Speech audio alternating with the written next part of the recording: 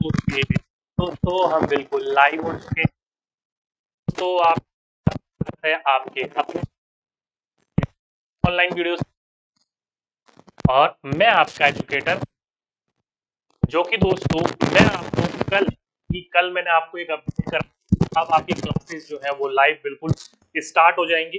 तो उसी से रिलेटेड मैंने आपको बोला था कि कल आपकी एक ईवीएस की क्लास चलेगी, जो कि आपकी मैराथन सेशन जैसी होगी।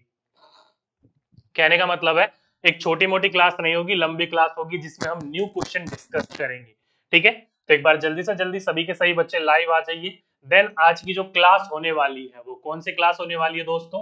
तो मैंने आपको बोला था सीटेट 2022 और 23 के लिए आपका मैं एक सेशन लेके आऊँगा, जिसमें मैं आपको संपूर्ण ईवीएस का जो न्यू पैटर्न के अनुसार आपका पर्यावरण अध्ययन है, यानी कि ईवीएस है उसमें कैसे कैसे न्यू क्वेश्चन देखने को मिल सकते हैं आपको 2022 और 23 वाले सेशन में।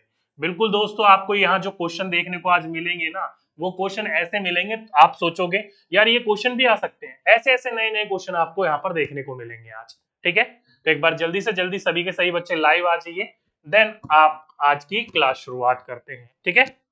वॉइस साफ़ नहीं आ रही है ओके वॉइस नहीं आ रही है क्या? हेलो हेलो हेलो हेलो यार वॉइस तो ठीक है। वॉइस तो परफेक्ट है। ठीक है वॉइस जल्दी से बताओ, अब ठीक आ रही है वॉइस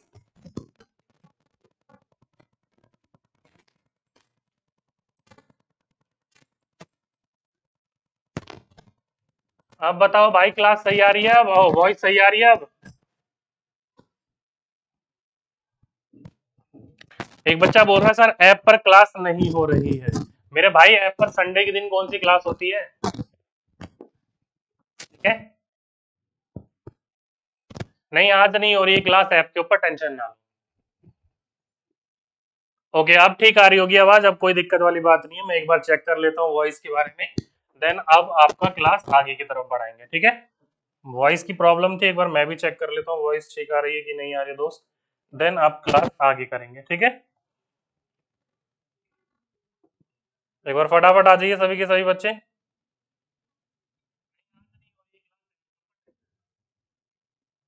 अब ठीक आ रही है वॉइस ठीक ठीक। अब आ रही है वॉइस कोई दिक्कत वाली बात नहीं, मैंने चेक कर लिया है। ठीक, आप लोगों के साथ मैं भी देख रहा था। चलिए, बच्चे कह रहे हैं परफेक्ट साउंड है परफेक्ट साउंड है। चलिए, बहुत अच्छी बात है। तो दोस्तों, पहले एक बार हम एक छोटा सा कर लेते हैं इंट्रो कि आज जो हम देखने वाले हैं, वो क्या देखने वाले हैं। ताकि जो बच्चे आज यहाँ पर देखेंगे ना प्रश्न, उनमें से कई बच्चों को ऐसा लग सकता है कि यार हमारी तैयारी तो अभी हुई नहीं है। ऐसा लग सकता है, लेकिन टेंशन ना लो, मैं यहाँ पर हूँ, आपको करवा दूँगा सारी की सारी चीज़ें। ठीक है? चलिए तो आज जो हम करने वाले हैं ना दोस्तों, वो आपको पूरा का पूरा ईवीएस ही देखने को मिलेगा। कोई भी बच्चा टेंशन ना लीजिएगा कि सर ये ईवीएस तो नहीं है ईवीएस तो कहीं दिख ही नहीं रही। ईवीएस देखने को मिलेगी टेंशन ना लो, लेकिन सारे के सारे जो है वो न्यू क्वेश्चंस देखने को मिलेंगे। ये क्वेश्चंस अभी तक किसी भी एग्ज़ाम में, किसी भी एग्ज़ाम में क्या सीटेट के एग्ज़ाम में पूछे नहीं गए हैं। ईवीएस के अंतर्गत ये आपके एग्ज़ाम में क्वेश्चन नहीं पूछे गए हैं। क्वेश्चन कहाँ से देखने को मिलेंगे? तो क्वेश्चन आपको ये जो मैं करवा रहा हूँ क्लास वन टू फिफ्थ की एनसीईआरटी जो बुक्स है एनसीईआरटी एनसीईआरटी की जो बुक्स है कौन सी बुक्स? तो मैंने आपको सही बताया, सही बच्चों को पता है कि एनसीएफ 2005 का अकॉर्डिंग कहा गया है कि ईवीएस की जो बुक है, वो कक्षा पहली एंड दूसरी के अंतर्गत किसके अंतर्गत? कोई सेपरेट बुक नहीं है, वो लैंग्वेज यानी कि हिंदी और इंग्लिश के अंतर्गत रखकर पढ़ाई जाएगी और साथ ही साथ में गणित के अंतर्गत। ठीक है? तो ये जो क्वेश्चन आपको देखने को मिलेंगे, वो आपके यहीं से ही देखने को मिलेंगे। क्लास पहली और दूसरी जो इसमें कोई अलग से बुक नहीं होती है, डायरेक्टली यहाँ से आपके क्वेश्चन बनते हैं ईवीएस के अंतर्गत। और साथ ही साथ में क्लास तीसरी, चौथी और पांचवी की बुक्स भी मैंने उठा रखी है, ताकि आपको पूरी की पूरी प्रैक्टिस हो सके। ये नहीं कि क्लास पहली और दूसरी की ही देखने को मिले। पूरा का पूरा आपको देखने को मिलेगा। ठीक है? हाँ जी, मेरे भाई, सभी के सही बच्चे जुड़ जाइए। लाइव क्लास है यार आप सभी बच्चों के लिए। भाषा की भी क्लास होगी, गणित की भी क्लास होगी टेंशन ना लो। कई बच्चे तो इसलिए परेशान होते हैं कि ये सारे लाइव क्लासेस तो है ना। हाँ मेरे भाई, पूरी लाइव क्लास है। ठीक है? चलिए, अब मुझे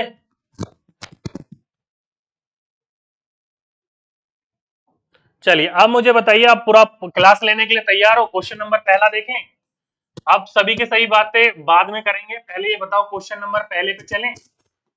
सभी बच्चे रेडी हो क्वेश्चन नंबर पहला देखने के लिए? बाकी बात बाद में क्वेश्चन नंबर पहले पे चलें, सभी बच्चे रेडी हो? फटाफट बताइए दोस्तों, फटाफट।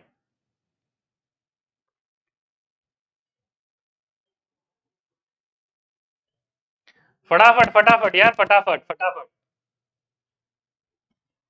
चलिए।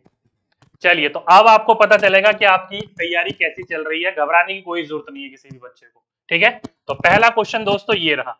बहुत ही अच्छा क्वेश्चन है। आपके एग्ज़ाम में अब तक ये क्वेश्चन नहीं पूछा गया है, लेकिन पूरे के पूरे चांसेस है आपके एग्ज़ाम में क्वेश्चन पूछे जाने के।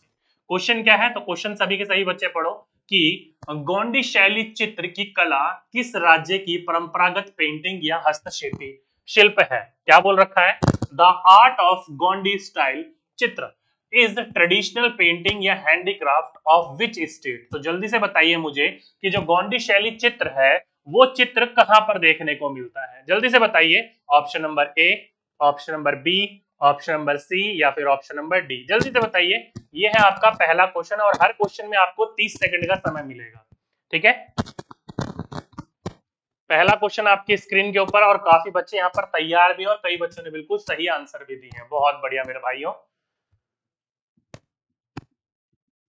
फटाफट बताइए भाई फटाफट पंद्रह सेकंड हो गए हैं, तीस सेकंड मिलेंगे, हर क्वेश्चन के बीच में आप सभी बच्चों को। ठीक है? चलिए, काफ़ी बच्चे इसका आंसर जो दे रहे हैं, वो सी दे रहे हैं, गुजरात। तो भाई, आप सही बच्चों को बता दूँ, ये गुजरात की शैली नहीं है। जिस जिस बच्चों ने भी इसका आंसर लगाया है गुजरात, वो सभी के सही बच्चों ने क्या लगाया है? गलत। इसका सही आंसर होगा दोस्तों मध्य प्रदेश। क्या है? मध्य प्रदेश। आप सही बच्चों ने जिसने इसका ऑप्शन नंबर फ़र्स्ट लगाया, यानी कि मध्य प्रदेश, वो सभी के सही बच्चों ने बिल्कुल सही आंसर लगाया। देखिए, ये आपका चित्र के बारे में बच्चों से बातचीत करें, उन्हें बताएँ कि यह चित्र मध्य प्रदेश की गोंडी शैली में बना है। अब देखो, ये चित्र कैसा है? देखो, ये रहा।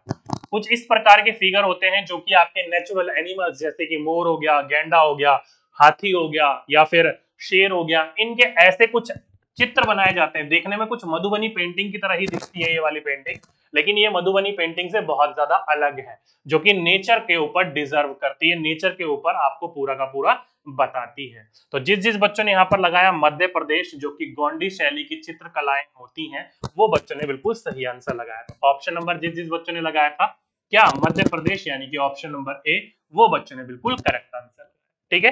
अब ये क्वेश्चन कहाँ से देखने को मिला है? तो दोस्तों, कक्षा दूसरी है आई थिंक हिंदी की बुक है ये। किसकी बुक है? हिंदी की बुक है और हिंदी की बुक से ये वाला क्वेश्चन पूछा गया। अब कई बच्चे कहेंगे, सर बुक बता दीजिए। तो भाई एनसीईआरटी की बुक से ये।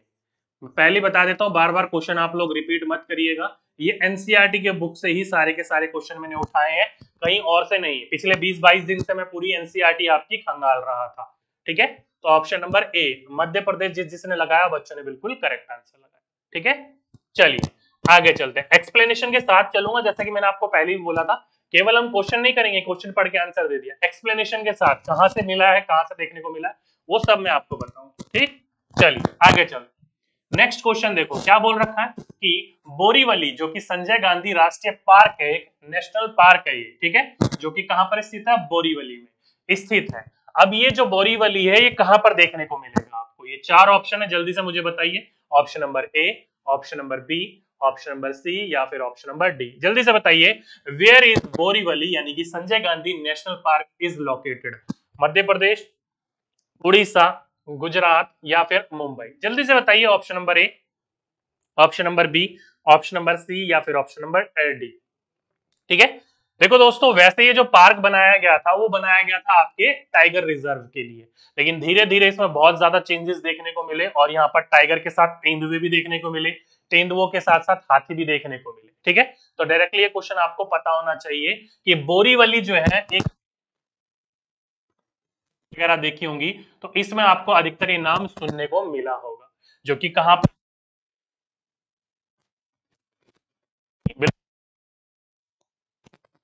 मुंबई, वो बच्चों ने बिल्कुल करेक्ट आंसर ठीक है? संजय गांधी राष्ट्रीय पार्क जो है, वो कहाँ स्थित है? बोरीवली में, जो कि मुंबई में स्थित है, यानी कि डी गुजरात बच्चों ने बिल्कुल गलत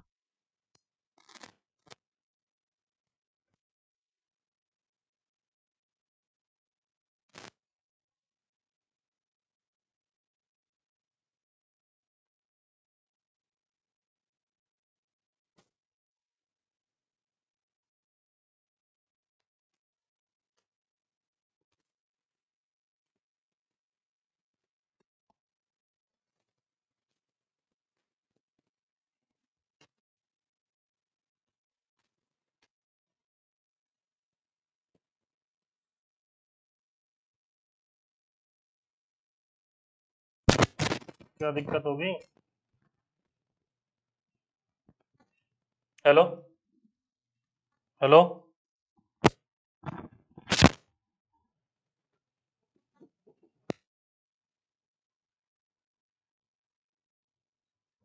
Hello? Hello? Hello? यहाँ तो वॉइस आ रही है यार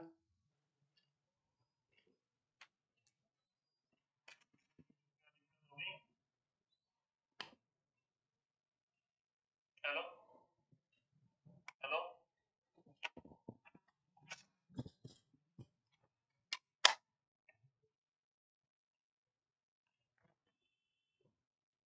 हेलो यहाँ तो वॉइस आ रही है अब ठीक है भाई? हेलो? हाँ अब ठीक है।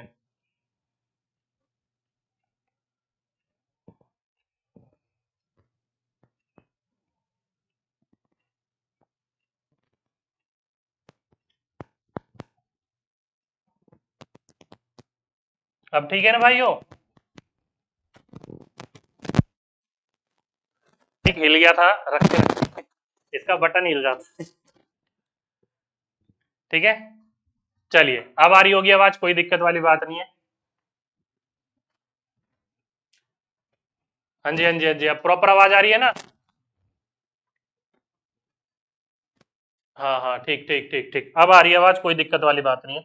चलिए, कोई नहीं पॉकेट में रखा रखा, हिल जाता उसका बटन। ठीक है ठीक है ठीक है ठीक है। तो देखिए दोस्तों, ये जो खबर आई थी, वो आई थी तेंदुए की खबर। किसकी खबर आई थी? तेंदुए की खबर। ये जो तेंदुआ है, ये मुंबई 12 मार्च की खबर है। कहा की खबर है ये? तो मुंबई की खबर है 12 मार्च की खबर है। सुबह नौ बजे, ठीक है, जाकर पुलिस और फायर ब्रिगेड और बोरीवली पार्क के जानवरों के डॉक्टर, जो कि रणधीर है, कहाँ के डॉक्टर है? बोरीवली, जो कि संजय गांधी नेशनल पार्क है, वहाँ के डॉक्टर थे, जो कि कहाँ का है? मुंबई का। तो डायरेक्टली आपका क्वेश्चन यहाँ से कुछ देखने को मिलता है, ठीक है? तो ये क्वेश्चन कहाँ से देखने को मिला? तो ये भी आपकी हिंदी की बुक से ही मिला है। कक्षा में आपको बता नहीं पाऊँगा। पूरी सही तरीके से। आई थिंक ये क्लास सेकंड या फिर थर्ड का होगा। आई थिंक मुझे पता नहीं है। तो ये भी आपकी हिंदी की बुक से है। किसकी बुक से हिंदी की बुक से ठीक? तो डायरेक्टली अगर आपके एग्ज़ाम में यहाँ से कोई क्वेश्चन देखने को मिलेगा तो वो आप गलत नहीं करोगे। समझ गए सही बच्चे? ठीक है। चलिए, आगे चलते हैं। अगला क्वेश्चन अगला क्वेश्चन क्या है? देखिए, पढ़िए। बहुत ही इंपॉर्टेंट क्वेश्चन है आपके एग्ज़ाम में। यहाँ पर ऐसे कुछ क्वेश्चन ज़रूर देखने को अब मिलेंगे। ठीक है? क्वेश्चन क्या है? देखिए, लिखा हुआ है कि नीचे दिए गए पक्षियों के वह कौन सी प्रजाति है जो तेज आवाज़ में बोलती हुई मिले और उसकी पूछ को देखो। यदि पूछ के नीचे वाली जगह लाल हो तो समझो वह चिड़िया डैश है। तो देखो दोस्तों, कितना अच्छा प्रश्न देखने को मिला है, कितना घुमा के क्वेश्चन देखने को मिला है। तो जल्दी से बताइए, अगर आपके एग्ज़ाम में ऐसा क्वेश्चन देखने को मिलेगा तो आप लोग क्या आंसर दोगे? फटाफट आंसर बताइए, क्या होगा इसका सही आंसर जल्दी बताइए, फटाफट फटाफट दोस्तों। फटाफट बताइए, सही आंसर क्या होगा आपके हिसाब से? क्या बताओगे आप इसका? देखो, क्या बोल रखा है कि नीचे दिए गए पक्षी की वह कौन सी प्रजाति है? जो कि तेज आवाज़ में बोलती है। तो पहला बिंदु यहाँ से पता चला आपको कि ये जो भी प्रजाति है पक्षी की, वो तेज आवाज़ में बोलती है। और उसकी पूछ को अगर आप देखोगे तो उसकी पूछ के नीचे वाली जगह जो होगी ना, वो कैसी देखने को मिलेगी? तो वो देखने को मिलेगी आपकी नीचे वाली जगह लाल। तो इस हिसाब से, जैसे आपने देखा होगा, बंदर वगैरह की जो नीचे वाला हिस्सा होता है पूछ के, वो लाल होता है। तो ये पक्षी कौन सा होगा? तो ये बोल रखा आपका, देखो, पहले तो आपका दर्जी चिड़िया होना चाहिए था मिसप्रिंट हो गया, कोई बात नहीं। हुडहुड पक्षी कलचीड़ी और बुलबुल, ये चार ऑप्शन दिए गए हैं। तो यहाँ पर जितने भी बच्चों ने आंसर लगाया, इसका option number D option number D वो बच्चों ने बिल्कुल सही आंसर लगाया, बुलबुल। ये जो पक्षी है, आपकी बुलबुल पक्षी है। कौन सी पक्षी है? बुलबुल पक्षी, यानी कि ऑप्शन नंबर डी जिस जिस बच्चों ने डी लगाया, वो बच्चों ने बिल्कुल सही आंसर लगाया, ठीक है? कई बच्चे पूछ रहे हैं, सर, आपकी बुक जो है, वो मार्केट में मिलेगा क्या? नहीं डियर मेरी जो बुक है, वो मार्केट में अभी अवेलेबल नहीं है। मैंने उसको ऑनलाइन ही रखा है। ऑनलाइन भी नहीं रखा? अभी आप सभी बच्चों के लिए फ्री में रखा। आने वाले दो तीन दिन में फ्री में मिल जाएगी टेंशन ना लीजिएगा। ठीक है?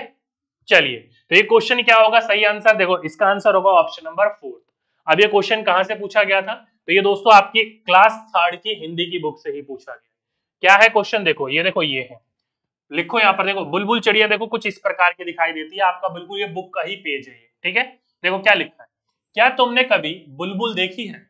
बुलबुल को पहचानने का एक सरल तरीका। देखो, बुलबुल को पहचानने का सरल तरीका क्या है? यदि तुम्हें कोई चिड़िया तेज आवाज़ में बोलती हुई मिले तो उसकी पूछ को देखो। यदि पूछ के नीचे वाली जगह लाल, कैसी? लाल हो तो समझो वह चिड़िया कौन सी है? बुलबुल चिड़िया। एज इट इज़ आपको लाइन देखने को मिलेगी आपके एग्ज़ाम में, ठीक है? तो देखिए दोस्तों, यहाँ पर क्या होगा? सीधी सी बात है कि वह कौन सी प्रजाति है जो कि तेज आवाज़ में बोलती हुई मिलेगी और उसके पूछ को देखोगे तो वो लाल रंग की देखने को मिलेगी।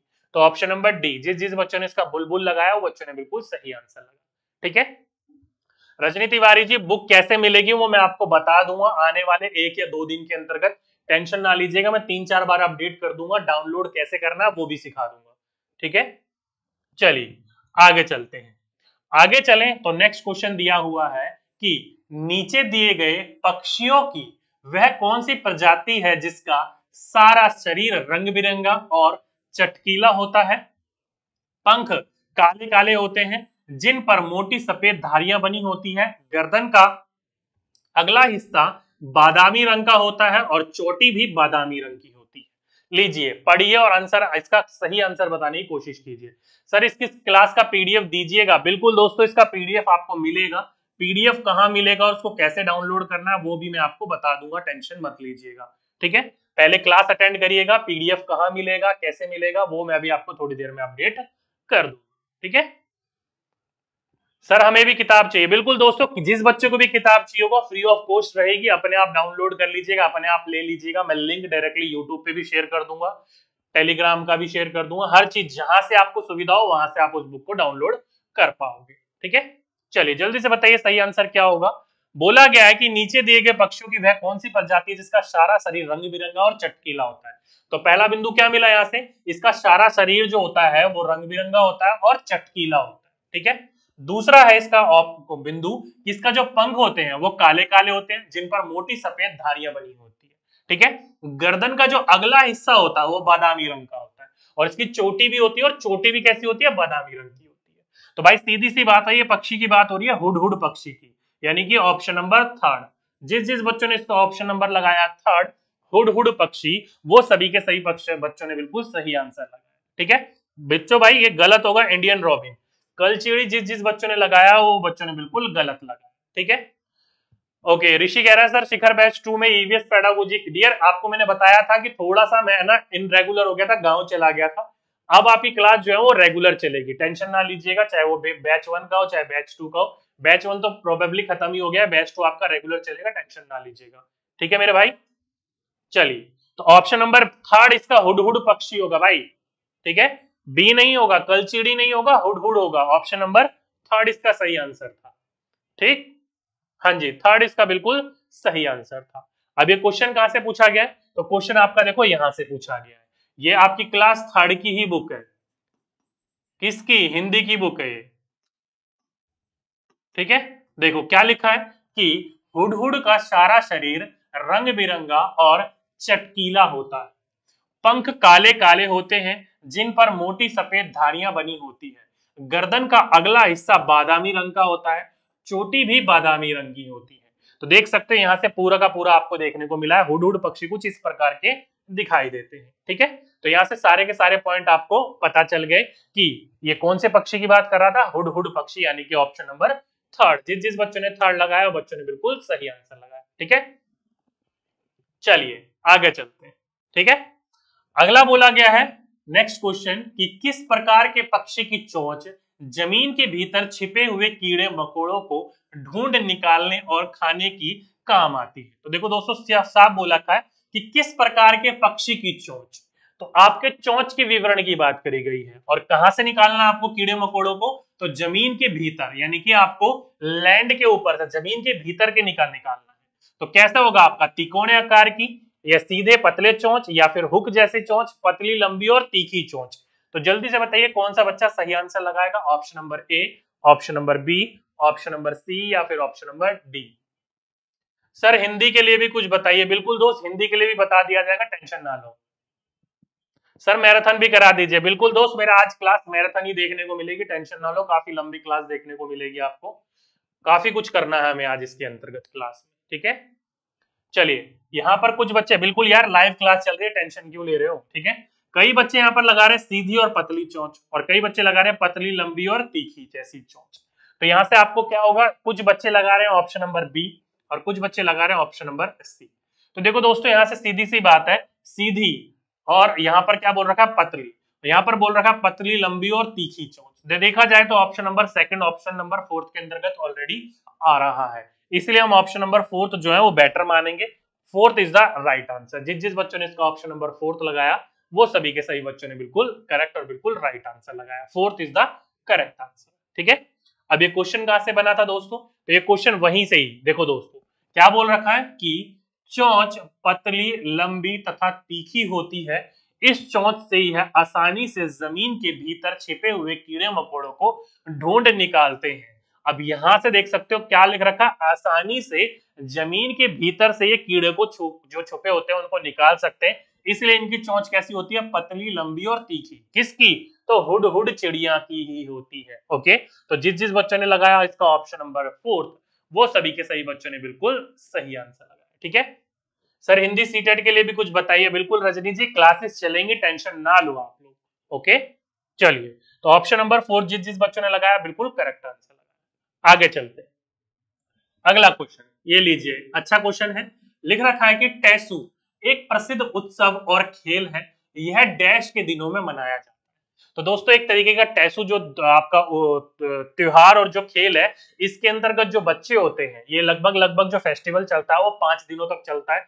इसमें एक पूरा का पूरा जो ग्रुप बनाकर लोग घर घर पर जाकर अलग अलग चीज़ें, जैसे कि सामग्री, जो खान पान की होती है वो, और थोड़े बहुत पैसे वगैरह मांग कर लेकर आते हैं, गैंग बनाकर जाते हैं ठीक है? और गुड्डे गुड़िया भी बनाकर रखते हैं, लकड़ियों से चार क्रॉस करके, जैसे रावण बनाया जाता है ना कुछ उसी प्रकार से, ठीक है? तो जल्दी से बताइए इसका ऑप्शन नंबर सही क्या होगा? ए बी सी या फिर ए डी जल्दी से बताइए। चलिए, कुछ बच्चे यहाँ पर लगा रहे हैं इसका मकर संक्रांति होगा, कुछ बच्चे लगा रहे हैं इसका बुद्ध पूर्णिमा होगा।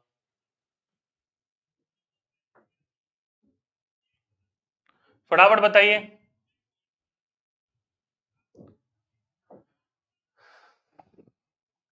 चलिए तो भाई यहाँ पर जो जो बच्चा इसका मकर संक्रांति लगा रहा है ना, वो गलत आंसर लगा रहा है। क्यों? क्योंकि दोस्तों, ये दशहरे के आसपास बनाया जाता है। कब? दशहरे के आसपास। तो ऑप्शन नंबर क्या होगा? First is the right answer अधिकतर जो हमारा बुंदेल खंड वाला इलाका यानी कि जो एमपी वाला इलाका है, वहाँ पर ये देखने को मिलता है। तो जिस जिस बच्चों ने इसका ऑप्शन नंबर ए लगाया, जो कि किसी ने भी नहीं लगाया था, वो सभी के सही बच्चों ने बिल्कुल क्या? गलत लगाए थे। A is the correct answer होगा। ठीक है? दशहरा। लगभग लगभग ये पाँच दिन का त्योहार चलता है। अगर आप पढ़ोगे तो देखो देखो लिख रखा है कि टेसु एक प्रसिद्ध उत्सव और खेल है। यह दशहरे के दिनों में मनाया जाता है। इस त्योहार में लड़कों की एक टोली टेसु लेकर घर घर जाती है और गाती, यानी अलग अलग प्रकार के गीत गाते वगैरह है और सामान वगैरह मांगते हैं। ठीक है? तो ये लगभग लगभग कितने दिनों तक चलता है? तो लगभग लगभग ये पाँच दिनों तक चलता है और दशहरे के आसपास दिनों में ये देखने को मनाया जाता है।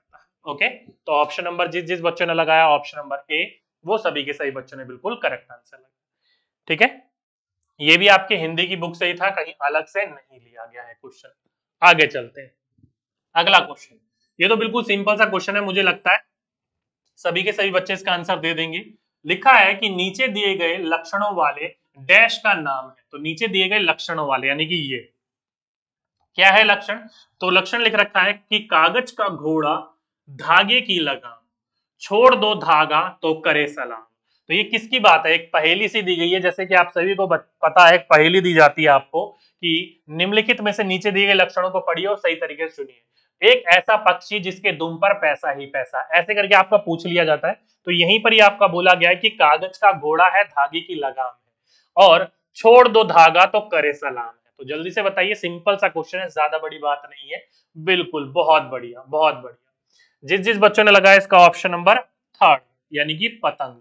वो बच्चों ने बिल्कुल करेक्ट आंसर लगाया काइट काइट देखो दोस्तों, कैसे होता है? घोड़े की तरह। मतलब कागज़ का घोड़ा होता है। देखा जाए तो एक कागज़ से ही बना होता है, ठीक है? और धागे की इसमें लगाम होती है। धागे से उड़ाते हैं आप लोग, या फिर कोई भी। और छोड़ दो धागा। जब जैसे जैसे हम ढील छोड़ते रहते हैं वैसे वैसे आसमानों में जाता रहता है। तो क्या कर रहा होता है? सलाम कर रहा था ऊंचाई पर जाकर। तो इसीलिए इसका ऑप्शन नंबर थर्ड जिस जिस बच्चों ने लगाया ऑप्शन नंबर थर्ड वो बच्चों ने बिल्कुल सही आंसर लगाया। डायरेक्टली आपकी बुक में मुझे मिल गया था, पूरा का पूरा एक आपको परेशान करने के लिए मुहावरा तो मैंने इसका क्वेश्चन बनाकर आप लोगों के लिए डाल दिया। ठीक है? ये देखो, कुछ ऐसी प्रकार की पहली दी गई थी आपके बुक के अंतर्गत। वही है चीज़, कागज़ का घोड़ा धागे की लगाम, छोड़ दो धागा तो करे सलाम। तो ये पतंग बना रखी है और इसी का आंसर आपसे पूछा गया था। तो directly option number third is the right answer ठीक है? तो जिस जिस बच्चों ने थर्ड लगाया, वो बच्चों ने बिल्कुल सही आंसर। ठीक है? चलिए, आगे चलते हैं। आगे बोला गया है कि नागा लोक कथा की कला किस राज्य की परंपरागत लोक कथाएँ हैं?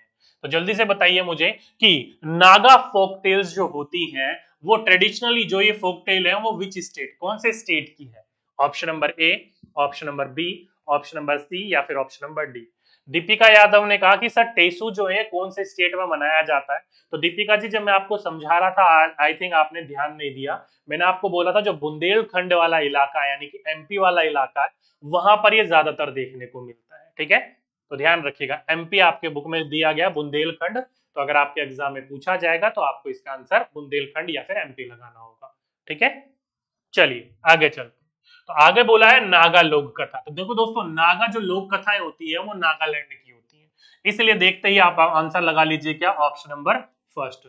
जिस जिस बच्चों ने इसका ऑप्शन नंबर फ़र्स्ट लगाया, नागालैंड, वो बच्चों ने बिल्कुल सही आंसर लगाया। ठीक है? अलग अलग प्रकार के जो लोकल्स जो कि अलग अलग हमारे स्टेट है, वहाँ के अलग अलग लोक कथाएँ होती हैं, जो कि लोगों को उनके जो आने वाली पीढ़ियाँ होती हैं, वो सुना सुना कर या फिर आने वाले, जो हमारे कलाएँ हैं जो हमारी ट्रेडिशनल है, उनके बारे में उनको बताया जाता है। ठीक है? जैसे कि ये देखो, ये आपके किसकी? किसान और चूहे की कहानी बताई गई है यहाँ पर। किसकी? किसान और चूहे की कहानी बताई गई थी यहाँ पर। और ये पूरा का पूरा जो कहानी है, ये कहाँ की है? नागा लोक कथा की कहानी है। अभी मैं आपको ये कथा नहीं सुना रहा हूँ, जब हम पूरी की पूरी थ्योरी पढ़ेंगे इन फ्यूचर तो मैं आपको इसकी पूरी की पूरी कहानी बता दूँगा। शॉर्ट फॉर्म में एक इतना सा जान लीजिए कि एक किसान होता है, इसका जो खेत होता है ना, नदी पार होता है। कहाँ होता है? नदी पार होता है। तो किसान सोचता है, यार, मैं अपनी फ़सल काट कर नदी पार कैसे लेकर जाऊँगा? तो डायरेक्टली ये चूहे यानी कि मूस से मदद माँगता है और कहता है कि, भाई, तू मेरी फ़सल जो है नदी पार पहुँचाने में मेरी मदद कर दे। मैं तेरे को ना एक बंडल धान जो इसने उगाया था, वो दे दूँगा। तो चूहा जो है, इसकी सारी की सारी फ़सल नदी पार करने आने में इसकी मदद कर देता है और जब चूहे को फ़सल देने की बारी आती है तो चूहा, ये जब किसान बोलता ले भाई तेरा एक बंडल फ़सल का, जो मैंने तेरे से वादा करा था। चूहा बोलता मैं इतने सारे दानों का क्या करूँगा? आप ऐसा करो, आप इसको अपने साथ ही ले जाओ। जब भी मुझे भूख लगेगी थोड़ा सा तो मुझे खाना ही होता है। मैं आपके घर पर आकर मुझे आप दे देना, मैं वह खा लूँगा। तो ऐसे करके पूरी की पूरी एक लोक कथा सुनाई गई थी। उसी के बारे में यहाँ पर बात करी गई है, ठीक है? तो जिस जिस बच्चों ने इसका ऑप्शन नंबर ए लगाया, नागालैंड, वो बच्चों ने बिल्कुल सही आंसर लगाया, ठीक है? ये कुछ ऐसी एक लोक कथा है। चलिए, आगे चलते हैं। आगे बोला गया है कि भारत में बहुत तरह के सांप जहरीले हैं। लगभग भारत में कितने प्रकार के जहरीले सांप लीजिए, देखा जाए तो दोस्तों, हमने अब तक जो क्वेश्चन पढ़ा है, वो बहुत ही अलग अलग देखने को मिला। लेकिन आपकी हिंदी के अंतर्गत एक बहुत इंपॉर्टेंट क्वेश्चन मिला मुझे, इसलिए मैंने इसको एड ऑन कर दिया। क्या बोला गया है कि they are many types of poisonous snake in India approximately how many types of poisonous snakes are there in India तो आप देखोगे तो भारत के अंदर बहुत तरीके के जहरीले सांप है। लेकिन कितने तरीके के जहरीले सांप भारत में देखा जाए छोटे मोटे ऊँचे नीचे सारे देखे जाए। तो जल्दी से बताइए option number A option number B option number C या फिर ऑप्शन नंबर डी कौन सा बच्चा बताएगा? फटाफट बताइए।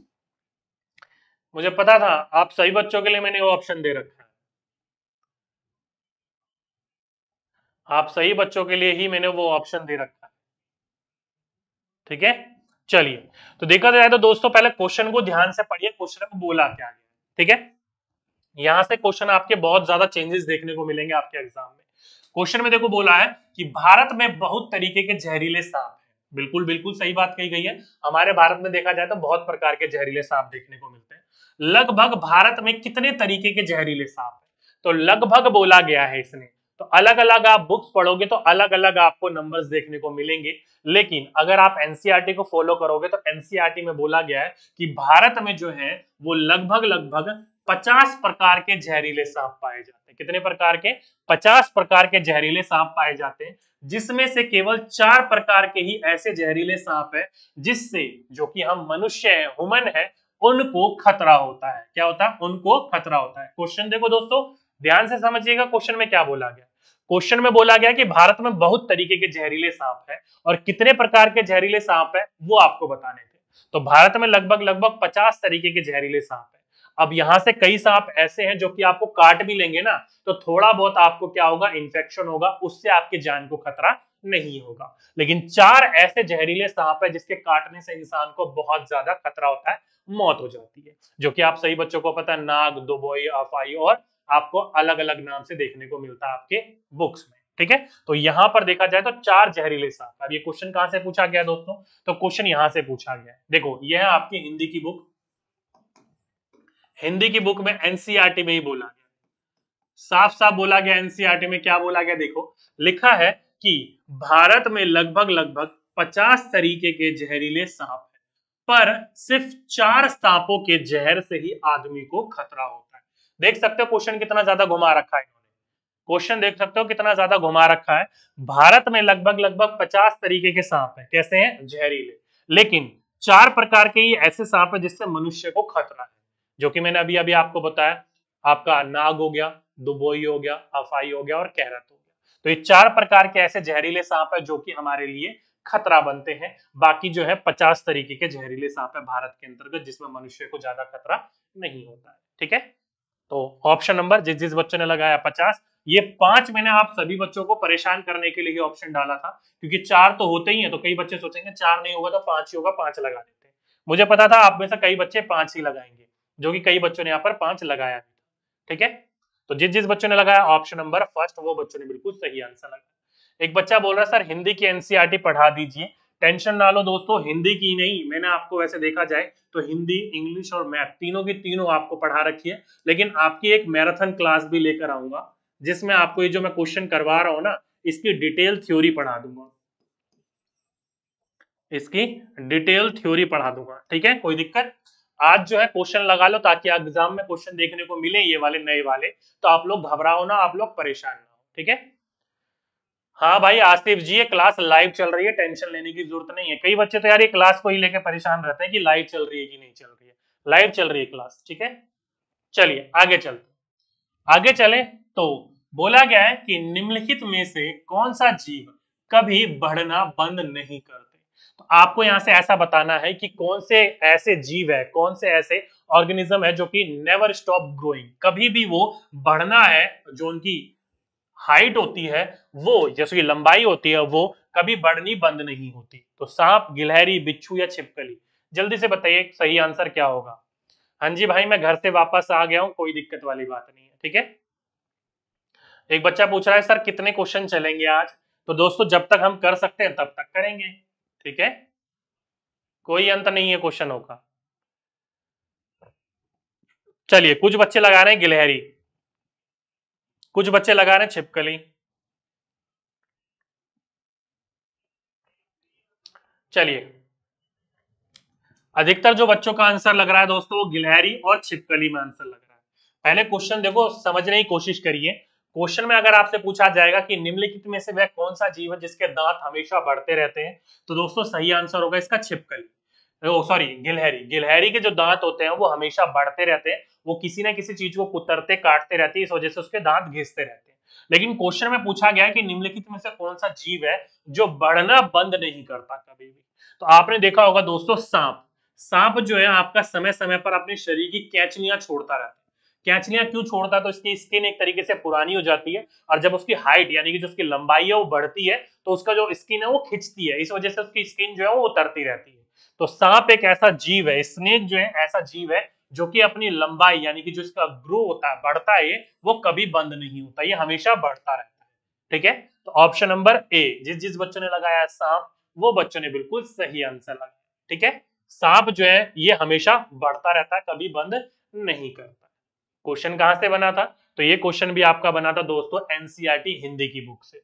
क्या लिखा है देखिए? अपना, ये देखो, सांप जो है, वो कभी भी बढ़ना बंद नहीं करते। देख सकते हो। डायरेक्टली आपकी एनसीआरटी बुक में साफ़ पॉइंट लिखे हुए इनके बारे में। ध्यान रखिएगा दोस्तों।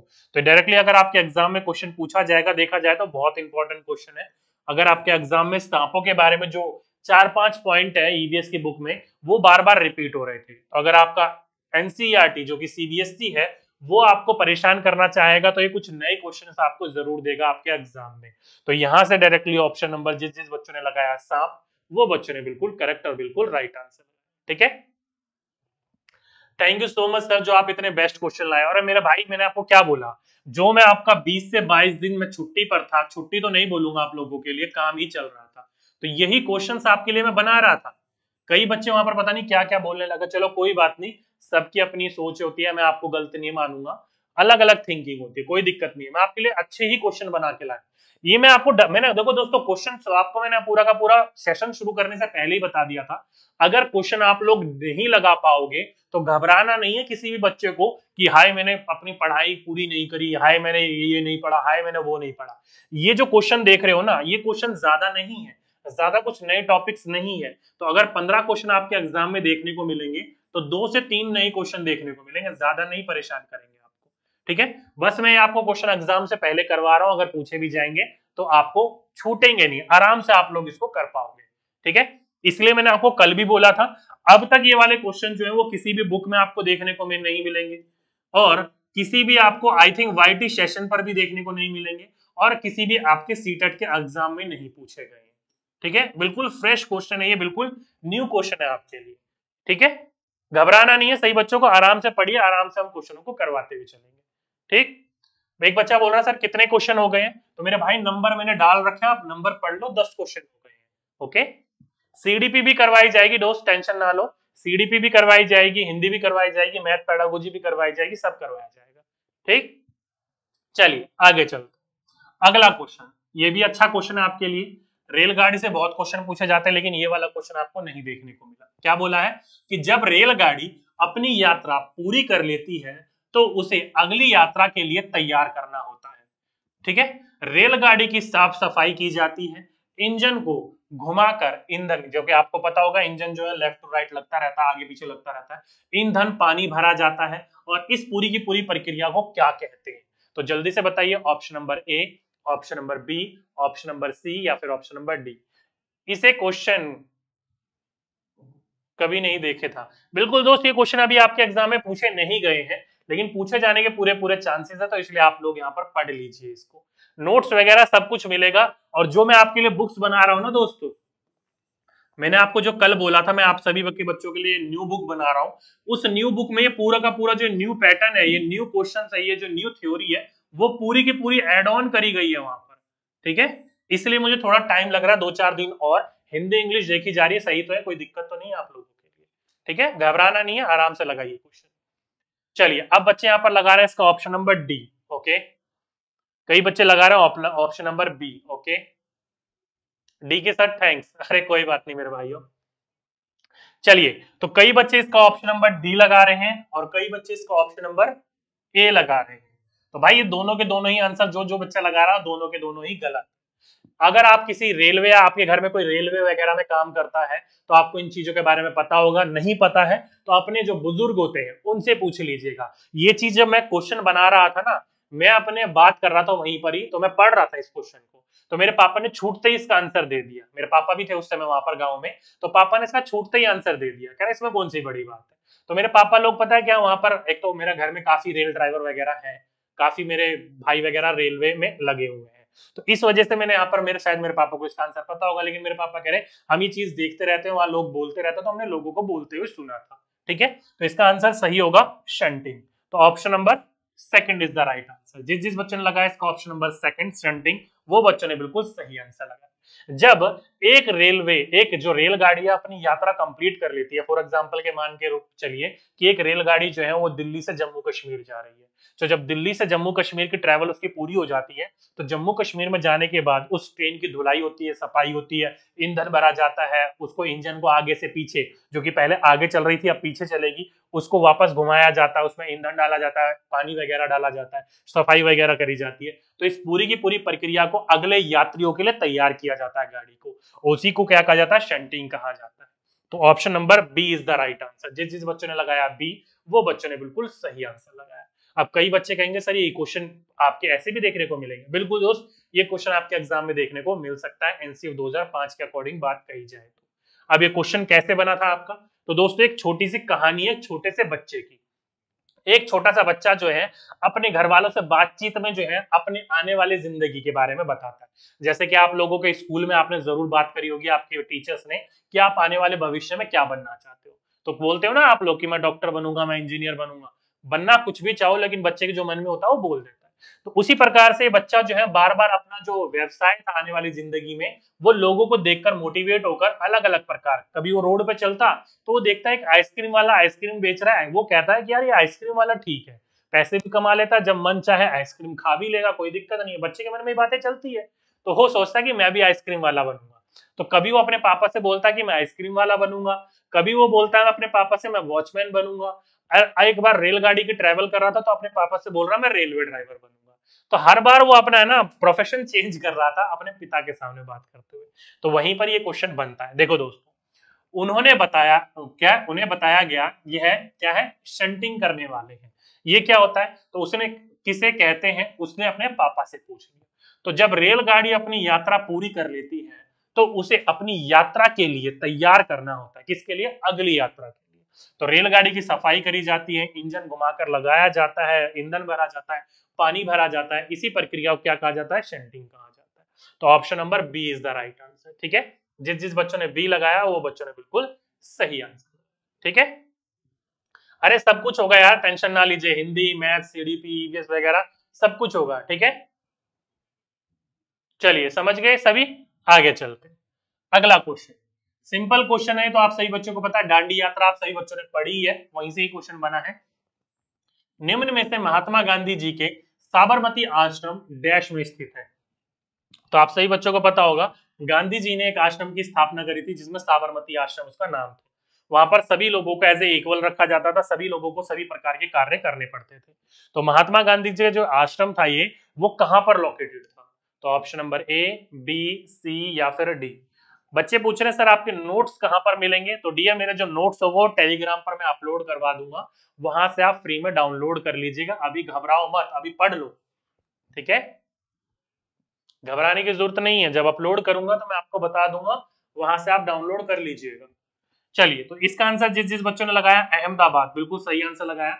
अहमदाबाद में आपका ये पूरा का पूरा आश्रम स्थित था। तो जिस जिस बच्चों ने लगाया ऑप्शन नंबर सेकंड वो सॉरी ऑप्शन नंबर थर्ड वो बच्चों ने बिल्कुल करेक्ट आंसर लगाया। सिंपल सा क्वेश्चन था, ज़्यादा मुश्किल क्वेश्चन नहीं था। क्वेश्चन कहाँ से बना था? तो यही हिंदी की बुक में भी आपका है। तो वहाँ पर साफ़ साफ़ उसके माता पिता जो है, एक छोटा सा बच्चा आपस में बातचीत कर रहे थे। तो वहीं पर बोला गया कि अहमदाबाद के पास महात्मा गांधी जो थे, उनके साबरमती आश्रम में। तो कहाँ पर है साबरमती आश्रम? तो साबरमती आश्रम जो है, वो अहमदाबाद तो यहाँ से ये डायरेक्टली क्वेश्चन उठा है। तो जिस जिस बच्चों ने ऑप्शन नंबर थर्ड लगाया, वो बच्चों ने बिल्कुल करेक्ट आंसर ठीक है?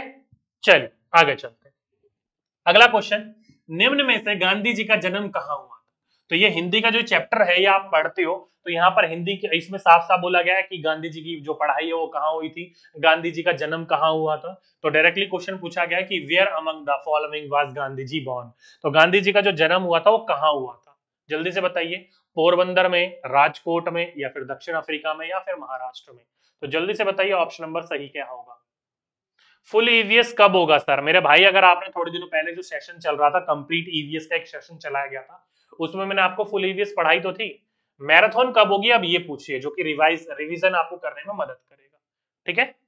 चलिए, बिल्कुल दोस्त, सही आंसर लगाया, सही बच्चों ने, जिस जिस बच्चों ने इसका आंसर ऑप्शन नंबर फ़र्स्ट लगाया, पोरबंदर, वो बच्चों ने बिल्कुल सही आंसर लगाया। गांधी जी का जो जन्म हुआ था वो पोरबंदर में ठीक है?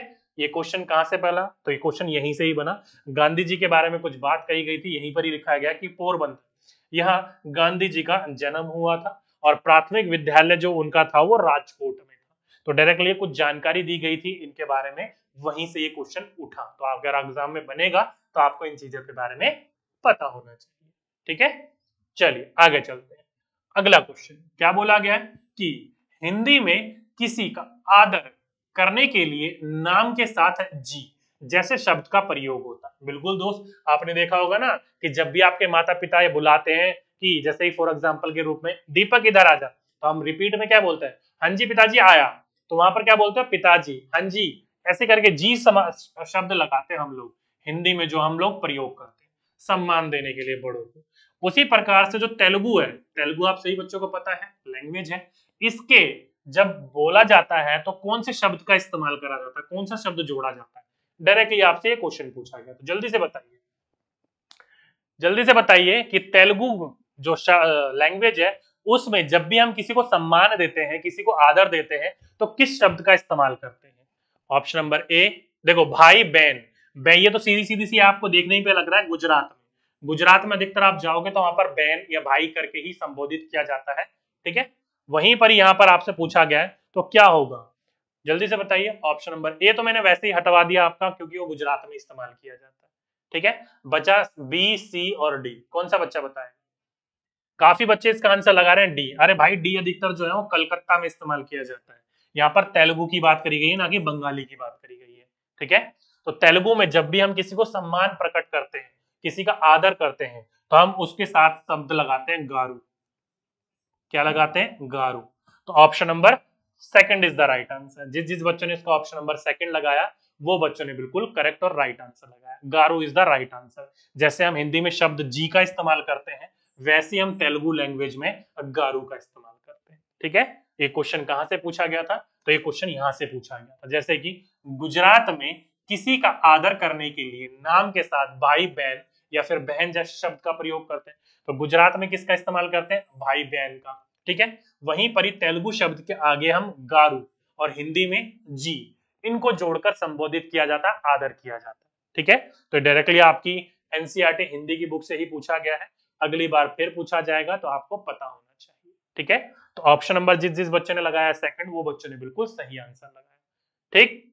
अब कई बच्चे यहाँ पर फिर परेशान हो रहे अरे भाई, मैंने आपको क्लास शुरू होने से पहले ही बता दिया था ये सारे के सारे क्वेश्चन आपको न्यू देखने को मिलेंगे। किसी भी बुक्स के अंतर्गत ये क्वेश्चन नहीं है प्रिंट हुए अभी तक। किसी भी आपके पेपर में क्वेश्चन पेपर का तो मैं नहीं, नहीं बोलूँगा लेकिन सीटेट में अब तक ये क्वेश्चन नहीं पूछे गए। बाकी किसी पेपर में पूछे गए तो मुझे नहीं पता उसके बारे में। और वाईटी के ऊपर आई थिंक ये पहली क्लास होगी ठीक है? वाईटी पर भी ये कहीं पर भी देखने को नहीं मिला होगा। तो टेंशन ना लीजिए बस आराम से सेशन को एंजॉय करिए। क्वेश्चन आ रहे हैं समझते हुए चलिए ठीक है? चलिए। चलिए, आगे चलते हैं। आगे बोला गया है कि निम्न में से किसे दुनिया की छत कहा जाता है? लीजिए, लिख लो इस बार इंपॉर्टेंट क्वेश्चन आपके ईवीएस में क्वेश्चन पूछा जाएगा। आपका जो 2022 और 23 में सेशन होने वाला है 2022 और 23 में जो आपका पेपर होगा दिसंबर, जनवरी में, लिख लो मेरे से, लिखवा लो। ये वाला क्वेश्चन आपको एग्ज़ाम में ज़रूर देखने को मिलेगा। ठीक है? आपके जो भी सेट होंगे 22 से 25 सेट उनमें से कई सेटों में ये वाला क्वेश्चन एज इट इज़ देखने को मिलेगा। ध्यान रखिएगा ये वो वाला क्वेश्चन लिख लो इस बात को। फटाफट लिखिए, बताइए। फटाफट बताइए।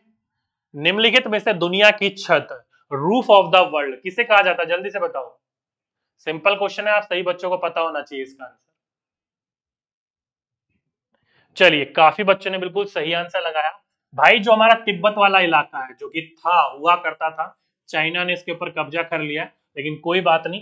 तिब्बत जो है, ये पूरा का पूरा जो इलाका है, इसको क्या कहा जाता है? तो इसको दुनिया की छत कहा जाता है। क्यों? क्योंकि भाई यहाँ पर ऊँचे ऊँचे पठार है ऊँचे ऊँचे पर्वत है, और ऐसा लगता है कि सारी दुनिया इसकी छत्र छाया में इसलिए इसे दुनिया की छत कहा जाता है। ठीक है? तो option number first is the right answer directly question कहाँ से बना था? तो क्वेश्चन बना था आपकी हिंदी की बुक से ही। लिखा है, देखो किसी भी लोक कथा को समझने के लिए उस इलाके की जलवायु रहन सहन खान पान और संस्कृति को समझना उपयोगी होता है। बिल्कुल सही कहा गया जिस इलाके में वह लोक कथाएँ सुनाई जाती है, जैसे कि राख की रस्ती। राख की रस्ती एक लोक कथा है जो कि तिब्बती इलाकों में सुनाई जाती है, बहुत इंपॉर्टेंट लोक कथा है। कभी हम पढ़ेंगे तो मैं आपको इसके बारे में ज़रूर बताऊँगा। एक चैलेंज दिया गया था। एक ये मान लीजिएगा, काफ़ी बुद्धिमान व्यक्ति थे। उनका बेटा जो है, बिल्कुल भोंदू था। और उसको अलग अलग टास्क दिया जाता था उसके पिताजी के द्वारा, क्योंकि उनके पिताजी को डर था कि मेरा बेटा जो आने वाली ज़िंदगी में कैसा होगा होगा, कैसा काम करेगा, कैसा काम नहीं करेगा। तो बेटे को जोन जोन से टास्क दिए जाते थे जोन जोन से चैलेंज दिए जाते थे, उनका बेटा उसको पूरा कर देता था। और उसका बाप इसी चीज़ को लेकर परेशान था, यार, ये कर कैसे देता है बंधु सा? तो बाद में पता चलता है उसकी एक लड़की मदद करती है और बाद में उसके पिताजी उसी लड़की से उसका विवाह कर देते हैं। क्यों? क्योंकि इसके पिता सोचते हैं, यार, ये भोंदू है, ये नहीं कर पाएगा, कम से कम इसकी बीवी तो इसकी मदद कर देगी, इसकी ज़िंदगी कटवाने में।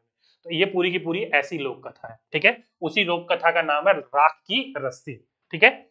इस प्रकार की जो लोक कथाएँ वो कहाँ से है? तिब्बत से संबंधित है, जिसे दुनिया की छत कहा जाता है। अब दुनिया की छत क्यों कहा जाता है इसे?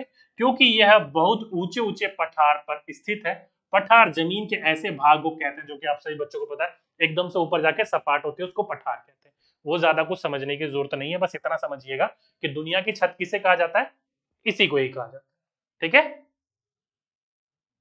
चलिए तो जिस जिस बच्चों ने लगाया ऑप्शन नंबर ए वो बच्चों ने बिल्कुल सही आंसर लगाया।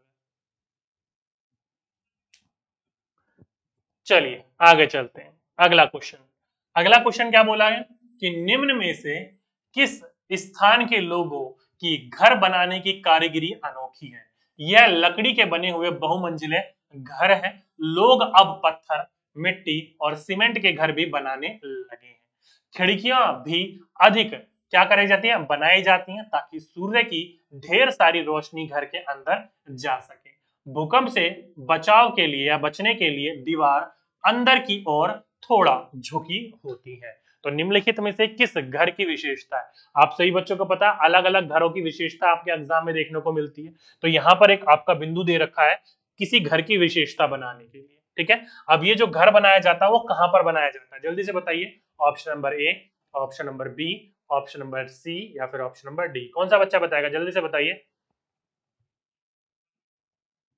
फटाफट बताइए option A option B option C या फिर ऑप्शन नंबर डी चलिए, कुछ बच्चे इसका ऑप्शन नंबर बी लगा रहे हैं, कुछ बच्चे इसका ऑप्शन नंबर सी लगा रहे हैं। बी क्या है? मनाली। सी क्या है? असम। ओके। असम और मनाली लगा रहे हैं। तो भाई, जिस जिस बच्चों ने इसका आंसर लगाया, मनाली, वो बच्चों ने भी गलत लगाया, और जिस बच्चों ने इसका लगाया, असम, उन्होंने भी गलत लगाया। क्यों? क्योंकि भाई, ये जो घर की विशेषता बताई गई है, बताई गई है तिब्बत की। कहाँ की बताई गई है? तिब्बत की। तिब्बत एक ऐसा इलाका है जो कि ऊंचाई पर है, और यहाँ पर ठंड भी बहुत ज़्यादा पड़ती है। क्या होती है? ठंड भी हमारे इस इलाके में बहुत ज़्यादा देखने को मिलती है। इसलिए यहाँ के जो घर बनाए जाते हैं, वो कैसे बनाए जाते हैं? बहुमंजिले घर बनाए जाते हैं। और ये जो घर पहले बनते थे, वो लकड़ी के बनते थे।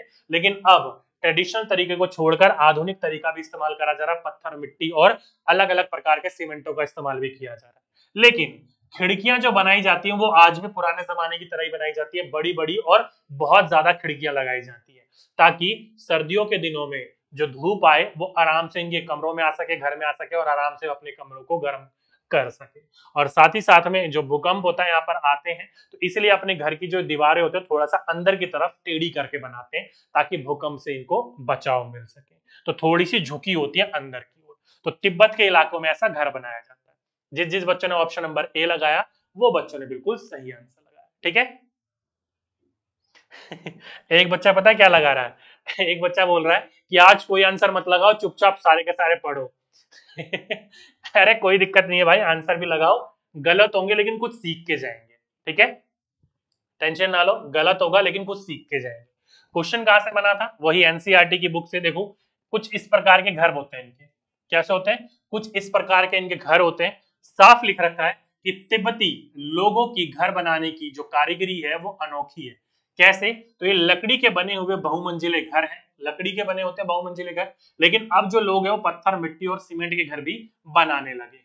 और खिड़कियाँ भी अधिक बनाई जाती है ताकि सूर्य की ढेर सारी रोशनी जो है वो घर के अंदर जा सके और भूकंप से बचाव के लिए दीवार अंदर की ओर थोड़ी झुकी हुई होती है। तो ये कहाँ के घरों की विशेषता है तो तिब्बती, यानी कि तिब्बत के लोगों के इलाकों के रहने वाले लोगों की ये विशेषता है तो जिस जिस बच्चों ने ऑप्शन नंबर फ़र्स्ट यानी कि तिब्बत लगाया था, वो सभी के सही बच्चों ने बिल्कुल सही आंसर ठीक है?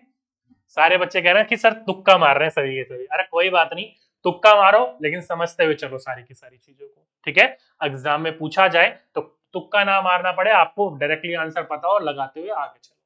ठीक? चलिए, एक बच्चा पूछा, सर जी, क्लास कितने बजे तक चलेगी? तो भाई, मुझे भी नहीं पता, क्लास कितने बजे तक चलेगी। चल रही है, जब तक आप पढ़ने लायक हो, मैं पढ़ाने लायक हूँ तो पढ़ते चलेंगे। ठीक है? किसी बच्चे को दिक्कत है तो बताओ, क्लास रोक देते हैं। अगला क्वेश्चन। निम्नलिखित में से कौन सा दुनिया का सबसे ऊँचा शहर माना जाता है? लीजिए, जल्दी से बताइए, इनमें से कौन सा ऐसा शहर है जो कि दुनिया का सबसे ऊँचा शहर माना जाता है? ध्यान रखिएगा, ये भी इंपॉर्टेंट क्वेश्चन है आपका। ऐसी कौन सी जगह है जो कि दुनिया की सबसे ऊँचा शहर माना जाता है? एनसीआरटी किस क्लास की बुक है? तो दोस्तों कक्षा तीसरी या फिर तीसरी की बुक है? हिंदी की। एक बच्ची बोल रही है, सर, आंसर के लिए पोल दीजिए। भाई डियर अभी जो है मैं ऑफ़िस में अकेला हूँ तो इसलिए पोल देने के लिए, या तो मैं पढ़ा लूँगा या फिर मैं आपको पोल दे दूँगा। तो टेक्निकल पर्सन नहीं है तो बिना पोल के ही पढ़ने की कोशिश करें आप लोग। ठीक? चलिए, जल्दी से बताइए, निम्नलिखित में से कौन सा विच ऑफ़ द फॉलोइंग इनमें से कौन सा highest city in the world जो कि सबसे ऊँचा शहर माना जाता है। शहर की बात करी गई है, ध्यान रखिएगा दोस्तों। राज्य की बात नहीं करी गई है, शहर की बात करी गई है। ठीक है?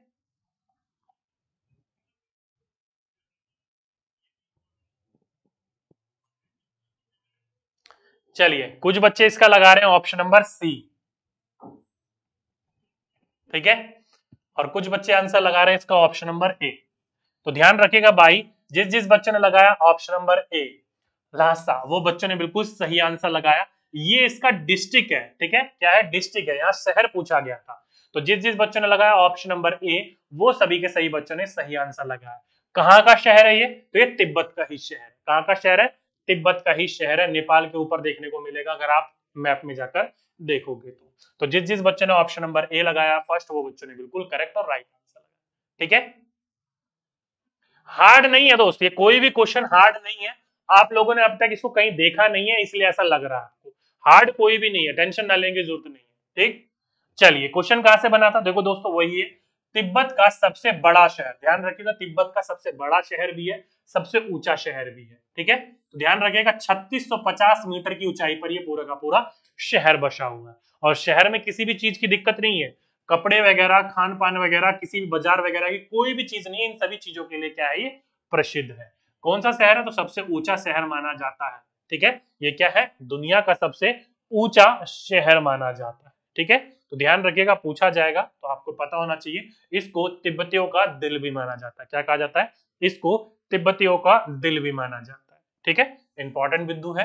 पूछा जाएगा आपके एग्ज़ाम में तो last is the important and right answer is the question ठीक है? इस क्वेश्चन का।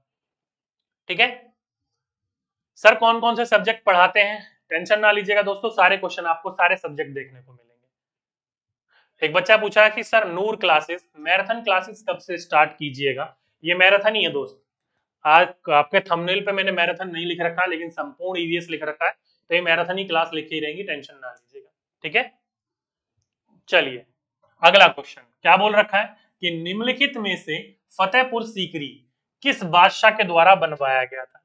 तो एक फतेहपुर सीकरी शहर जो है वो बसाया गया था और वो किस राजा के द्वारा बसाया गया था डायरेक्टली आपसे क्वेश्चन पूछा गया। तो जल्दी से मुझे बताइए, किस राजा के द्वारा फतेहपुर सीकरी को बसाया गया था? कौन सा बच्चा बताएगा? जल्दी से बताइए।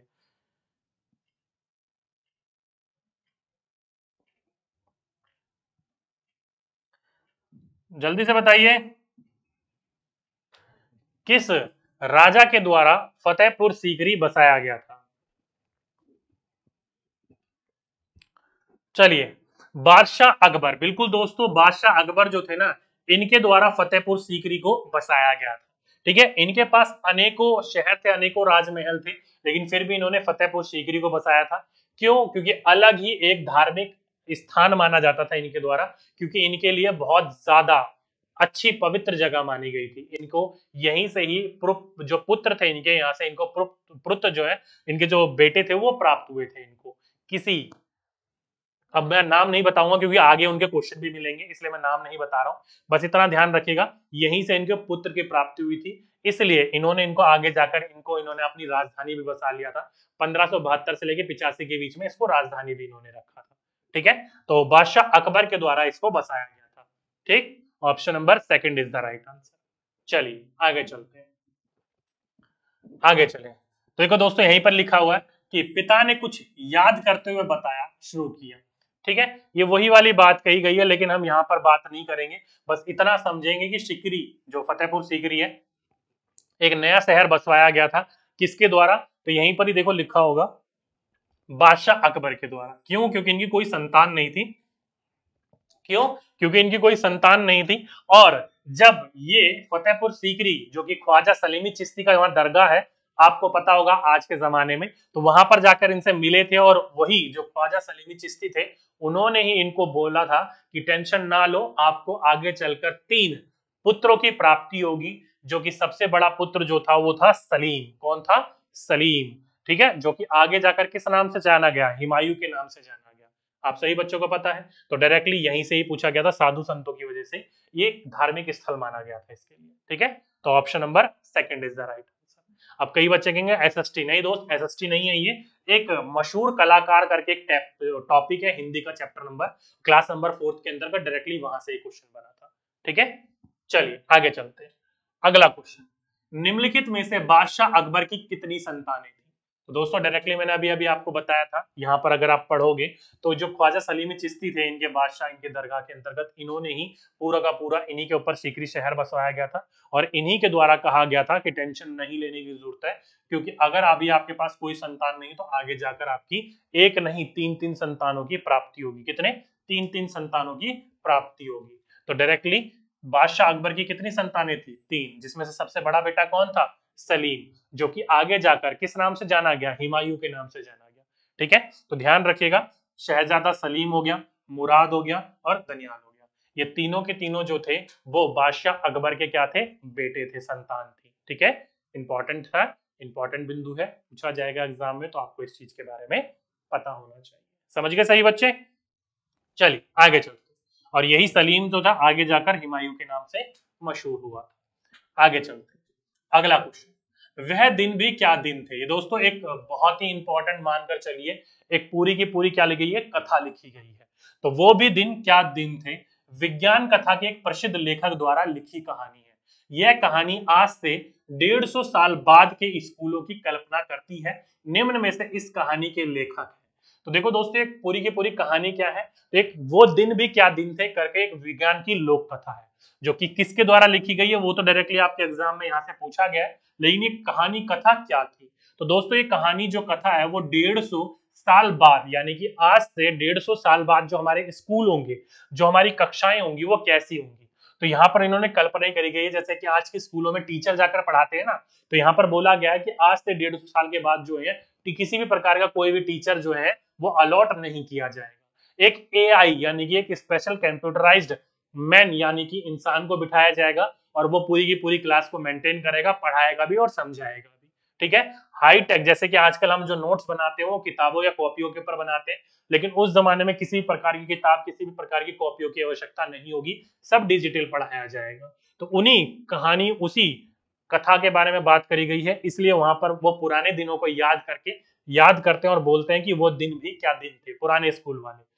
जब डांट वगैरह खाई जाती थी, फटकार वगैरह लगाई जाती थी। तो ये किसके द्वारा लिखी गई है? वो डायरेक्टली आपसे यहाँ पूछा गया है। तो ये किसके द्वारा लिखी गई है? तो दोस्तों आइजैक एसिमोव के द्वारा लिखी गई है। तो option number A is the right answer अब दोस्तों, मैंने इस क्वेश्चन को ऐड क्यों करा गया है? क्योंकि दोस्तों, मैं आपको एक बुक का नाम बताता हूँ। हाउ अर्थ इज़ नहीं हाउ हाउ जो हमारा अर्थ है, हमारी जो पृथ्वी है, वो उसके बारे में, जो लोग है, पुराने जमाने से क्या क्या सोच रहे हैं। उसके बारे में एक किताब लिखी गई है how earth is the round ऐसे करके किताब का नाम है। वो किसके द्वारा लिखी गई है? तो वो भी लिखी गई है आइजैक एसिमोव के द्वारा। तो डायरेक्टली वो वाला क्वेश्चन तो बहुत बार पूछा जा चुका है। अगली बार पूछा जाएगा तो ये क्वेश्चन भी देखने को मिल सकता है उन्हीं का ही, इसलिए मैंने इन क्वेश्चन को ऐड कर दिया यहाँ पर। ठीक है? एक रेणु शर्मा नाम की बच्ची है, वो बोल रही है, सर, अभी तक हमने सीटेट के लिए कुछ भी नहीं पढ़ा। क्या एग्ज़ाम निकल सकता है? दोस्तों, अभी जो आप पढ़ना स्टार्ट करोगे, डिपेंड करता है कि आपको गाइडेंस कैसे मिलती है और आप समय कितना देते हो। सीटेट निकालना कोई बड़ी बात नहीं है। सीटेट जो है, आखिरी 20-25 दिन पढ़कर भी निकाला जा चुका और निकाले जा सकते हैं। लेकिन सही प्रकार की गाइडेंस और सही चीज़ों को पढ़ना ज़रूरी है, तब निकलेगा ठीक है? तो इस हिसाब से ऑप्शन नंबर ए जिस जिस बच्चों ने लगाया, वो बच्चों ने बिल्कुल सही आंसर लगाया। ठीक है? चलिए, ये क्वेश्चन कहाँ से बना था? तो देखो, यही बात करी गई है रिमझिम। आपकी हिंदी की बुक का नाम है रिमझिम। वहीं पर ही लिखी गई है एक रोमांचित कहानी, किससे, वह दिन भी क्या दिन थे। एक विज्ञान की कथा है जो कि प्रसिद्ध। एक लेखक थे आइजैक एसिमोव। इनके द्वारा ये कहानी लिखी गई है, जो कि आज से डेढ़ सौ साल बाद के स्कूल की कल्पना करती है और वहाँ पर बताया जाता है कि भविष्य में किसी भी प्रकार का कोई भी शिक्षक नहीं होगा। वहाँ पर क्या होंगे? स्पेशलाइज्ड कंप्यूटर होंगे एआई होंगे और उनके द्वारा बच्चों को पढ़ाया जाएगा ठीक है? तो जिस जिस बच्चों ने ऑप्शन नंबर ए लगाया, वो बच्चों ने बिल्कुल सही आंसर लगाया। ठीक है? चलिए, ये था आपका ऑप्शन नंबर ए आगे चलते आगे चलें। तो नेक्स्ट क्वेश्चन बोला गया कि निम्नलिखित में से पिन कोड की शुरुआत कब हुई थी? लीजिए। बताइए भाई। निम्नलिखित में से पिन कोड की शुरुआत कब हुई थी? पिन कोड को इंट्रोड्यूस कब किया गया था? भारत के अंतर्गत।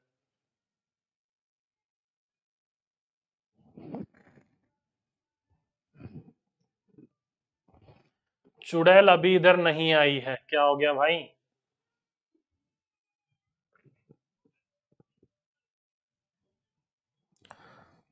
क्वेश्चन का आंसर बताओ भाई। पेट दर्द हो गया मेरा बोलते बोलते पानी पी लू मैं। आप आंसर बताओ इसका। फटाफट बताइए। फटाफट दोस्तों।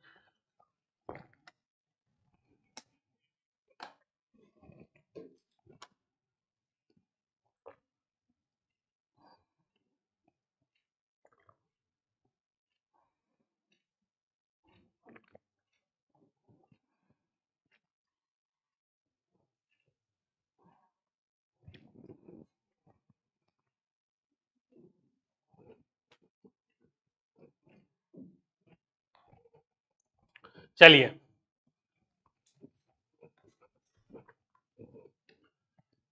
चलिए तो कई बच्चे इसका आंसर? Option number? आ रही है ना आ रही है।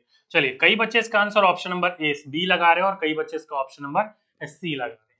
तो भाई ये ए, बी, सी, डी करने वाले, अभी समझिए, ऑप्शन नंबर ए जो है इसका बिल्कुल करेक्ट आंसर है। क्या होगा? ऑप्शन नंबर ए इसका बिल्कुल सही आंसर है। 15 अगस्त उन्नीस ध्यान रखिएगा, जो पिन कोड आपने देखा होगा फॉर एग्ज़ाम्पल के रूप में, जैसे कि मैं दिल्ली में रहता हूँ तो दिल्ली के अंतर्गत जो पिन कोड इस्तेमाल किया जाता है, वो क्या जाता है? डबल ग्यारह डबल ज़ीरो फोर फाइव ये क्या है? दिल्ली का पिन कोड है एक जगह का, ठीक है? डिस्ट्रिक्ट साउथ वेस्ट तो ऐसे पिन कोड अलग अलग स्टेट में अलग अलग नाम की जगह होते हैं। तो इन पीडो को, पिन कोडों को इंट्रोड्यूस किया गया था कब? तो ये किया गया था पिन कोड की शुरुआत 15 अगस्त उन्नीस ठीक है? तो ध्यान रखिएगा पूछा जाएगा कि पिन कोड की जो शुरुआत की गई थी, वो कब की गई थी? तो 15 अगस्त उन्नीस को की गई थी। इससे पहले जो पत्र भेजा जाते थे, अगर आप नीचे पढ़ोगे तो देखो दोस्तों, यहाँ पर लिख रखा है। पत्र भेजकर लिखा है कि गांधी जी को मिले इस पत्र पर और उन्हें मिले किस भी प्रकार का पिन कोड। तो जो गांधी जी को पुराने समय पर पत्र मिला जाते थे, वो पत्र में पता है क्या लिखा जाता था? वहाँ पर एड्रेस वगैरह, पिन कोड वगैरह नहीं लिखा जाता था। वहाँ पर लिखा जाता था, गांधी जी कहाँ है? और वहाँ पर लिखा जाता था, ये पत्र जो दिया जाए, वो गांधी जी के हाथ में दिया जाए। तो डायरेक्टली पत्रों के ऊपर पता ना होकर ऐसी कहानी किससे लिखे जाते थे पुराने टाइम पर। ठीक है? तो पिन कोड की शुरुआत कब हुई थी? तो पंद्रह अगस्त उन्नीस में। तो जिस जिस बच्चों ने ऑप्शन नंबर ए लगाया, वो बच्चों ने बिल्कुल सभी सही आंसर लगाया। ठीक है? चलिए, आगे चलते इसी से रिलेटेड एक इंपॉर्टेंट बिंदु या इंपॉर्टेंट क्वेश्चन बोल सकते हो कि निम्नलिखित में से पिन शब्द का पूर्ण रूप क्या बोला है? Full form of the pin pin जो शब्द है, पिन कोड जो शब्द है, पिन का पूरा का पूरा फुल फॉर्म क्या है? तो option number A option number B option number C या फिर ऑप्शन नंबर डी जल्दी से बताइए कि निम्नलिखित में से पिन शब्द का पूर्ण रूप क्या है? फुल फॉर्म क्या है पिन शब्द की? जल्दी से बताइए। फटाफट बताइए। कौन सा बच्चा बताएगा? फटाफट बताइए।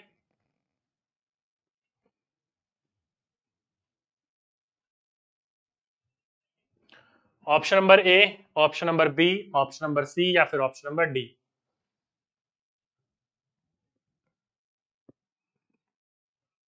चलिए, कई बच्चे इसका बी लगा रहे हैं, कई बच्चे इसका सी लगा रहे हैं। चलिए, कोई बात नहीं। ध्यान रखिएगा दोस्तों, जो पिन होता है ना, इसका शब्द का फुल फॉर्म होता है पोस्टल इंडेक्स नंबर, यानी कि ऑप्शन नंबर ए।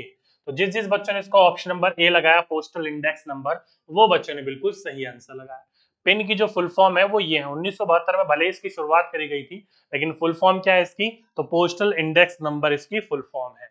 अगली बार आपसे पूछा जाएगा कि पिन शब्द का फुल फॉर्म क्या है तो आपको पता होना चाहिए। ठीक है? इंपॉर्टेंट क्वेश्चन आपके एग्ज़ाम में ज़रूर देखने को मिलेंगे ये क्वेश्चन चलिए। देखिए दोस्तों, पिन शब्द पोस्टल इंडेक्स नंबर डायरेक्टली ये क्या है इसका? छोटा रूप है। क्या है? इसका छोटा रूप है पिन। ठीक? तो अगली बार आपसे पूछा जाएगा तो आपको पता होना चाहिए जो छह अंकों का पिन कोड होता है, पिन की फुल फॉर्म क्या होती है तो पोस्टल इंडेक्स नंबर। ये बाकी बाकी सारी चीज़ें आपके लिए इंपॉर्टेंट है, आपको पढ़ना है इस चीज़ को, लेकिन इससे रिलेटेड मैंने आगे इंपॉर्टेंट क्वेश्चन डाल रखे हैं तो अभी हम इसको नहीं पढ़ रहे हैं, आगे हम अपने आप इसको पढ़ लेंगे। ठीक है? चलिए, आगे चलते हैं। लिखा हुआ है कि पत्र में लिखा, पते में सबसे छोटी भौगोलिक इकाई से शुरुआत करके बड़ी की ओर बढ़ता है। छोटी से बड़ी भौगोलिक इकाई का मतलब नीचे दिए गए चरणों पर विचार कीजिए और वह विकल्प चुनिए जिसमें इन चरणों को सही क्रम में दिया गया है। तो ये तीन ऑप्शन दिए गए क्या है? पहला, घर के नंबर के बाद गली मोहल्ले का नाम, फिर गाँव कस्बे शहर जिस हिस्से में है उसका नाम और फिर उस गाँव या शहर का नाम। तो ये तीन स्टेप दिए गए हैं और इन तीनों स्टेप को क्रम में लगाना है आपको।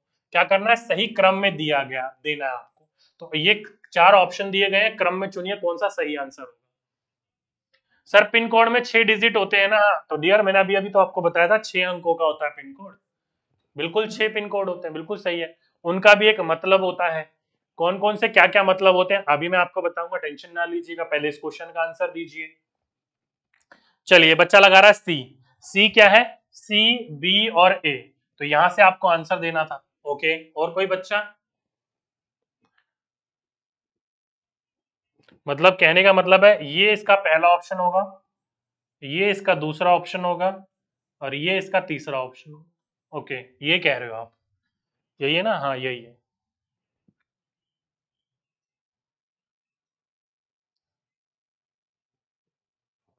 चलिए, कुछ बच्चे डी भी लगा रहे हैं। कुछ बी भी लगा रहे कुछ ए मतलब सब लगा दिया। चलिए, देखो दोस्तों क्वेश्चन को समझने की ज़रूरत है। क्वेश्चन में बोला गया कि पत्र जो लिखा हुआ उसमें पते होते हैं, यानी कि एड्रेस होता है, वो सबसे छोटी भौगोलिक इकाई से शुरू करके बड़ी की ओर बढ़ता है। बिल्कुल सही कहा गया है। अलग अलग उसमें एड्रेस लिखा रहता है। मकान का नंबर गली नंबर स्ट्रीट मतलब मोहल्ले का नाम, फिर कौन सा डिस्ट्रिक्ट है, कौन सा शहर है, कौन सा राज्य है, सब कुछ लिखा रहता है उसमें। तो उसी को आपको क्रम में लगाना था। तो क्रम में लगाने का देखा जाए तो सबसे पहले एड्रेस में होता है आपके घर का नंबर क्या होता है सबसे पहले घर का नंबर जैसे कि डब्ल्यू जेड पाँच सौ बीस बीस अड़सठ आर जेड एफ़ नौ, ऐसे करके आपके अलग अलग नंबर होते हैं। तो पहले घर का नंबर होता है, उसके बाद गली मोहल्ले का नंबर गली नंबर चार, गली नंबर छह, गली नंबर सात, गली नंबर बीस, गली नंबर बाईस, गली नंबर सैंतालीस, ऐसे करके फिर गली नंबर होता है, ठीक है?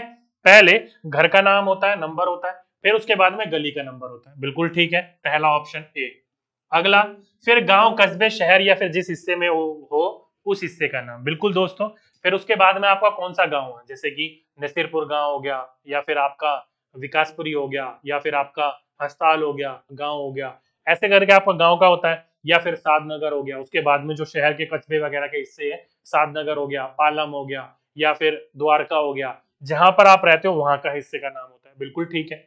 उसके बाद में आपके गाँव या शहर का नाम होता है, यानी कि कहाँ के रहने वाले हो? जैसे कि फॉर एग्ज़ाम्पल के रूप में आप हरियाणा के हो यूपी के हो, दिल्ली के हो, पंजाब के हो उनका नाम लिखा रहता है। ये भी बिल्कुल ठीक है। तो इस हिसाब से option number A B C क्रम में थे, यानी कि option number second is the right answer आप अपने एड्रेस को चेक करिए। कहीं और जाने की ज़रूरत नहीं थी। डायरेक्टली आप अपने क्रम में लगा सकते थे। अपने आप घर का या फिर कहीं का भी एड्रेस चेक करिए। फॉर एग्ज़ाम्पल के रूप में मैं अपने घर का एड्रेस चेक करूँ तो पहले मेरे घर के एड्रेस में मेरे घर का नंबर आता है। बिल्कुल ठीक है। फिर बाद में मेरे गली मोहल्ले का नंबर आता है। फिर बिल्कुल ठीक है। फिर गाँव कस्बे या जिस शहर में मैं रहता हूँ, वहाँ का नंबर आता है। बिल्कुल ठीक है। फिर आखिरी में जो गाँव या शहर का नाम है, वो आता है। बिल्कुल ठीक है। तो इस हिसाब से ऑप्शन नंबर ए बी और सी इस बच्चों ने लगाया था, ये क्रम में ही थे आपके। ए बी एन सी ठीक है? तो ये छोटी भौगोलिक से लेकर बड़ी भौगोलिक। छोटी भौगोलिक है आपका एक घर का हिस्सा। आपका घर का जो नंबर है छोटा सा है। और ये जो घर है, आपका एक बड़े से राज्य के अंतर्गत आता है। तो छोटे भौगोलिक से लेकर बड़े भौगोलिक के अंदर जाना था आपको। तो ऑप्शन नंबर बी जिस जिस बच्चों ने लगाया, बच्चों ने बिल्कुल करेक्ट आंसर ठीक है? अभी क्वेश्चन कहाँ से बना? तो दोस्तों अभी अभी मैंने आपको ये दिखाया था। इसी के अंतर्गत आपको देखने को मिला होगा कि जो गांधी जी को भेजा गया पत्र था ना, उसमें पता क्या लिखा हुआ था? लिखा हुआ था कि महात्मा गांधी जहाँ हो, वर्धा में, वहीं पर ही उनको ये लिफाफा या चित्र देख या फिर जो पत्र है, वो देकर आना था। ठीक है? ये लिखा हुआ था। इसी में आप आगे पढ़ोगे तो पते में सबसे छोटी भौगोलिक इकाई से शुरू करके बड़े की ओर बढ़े हैं। जैसे कि छोटे से बड़ी भौगोलिक इकाई का मतलब क्या है? कि घर का नंबर के बाद गली मोहल्ले का नाम। देखो दोस्तों, पहला क्या आएगा? घर का नंबर। फिर गली मोहल्ले का नाम।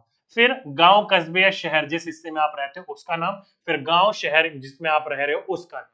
तो ऐसे करके आपका पूरा का पूरा एक पता तैयार किया जाता है। और इसी को आपको क्रम में लगाना था। तो ऑप्शन नंबर जिस जिस बच्चों ने लगाया बी वो बच्चों ने बिल्कुल करेक्ट और राइट आंसर लगाया। ठीक है? चलिए, आगे चलते हैं।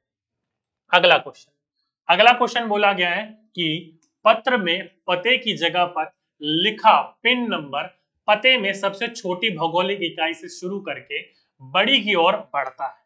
छोटी से बड़ी भौगोलिक इकाई का मतलब नीचे दिए गए चरणों पर विचार कीजिए और वह विकल्प चुनिए जिसमें इस चरणों का सही क्रम दिया गया है।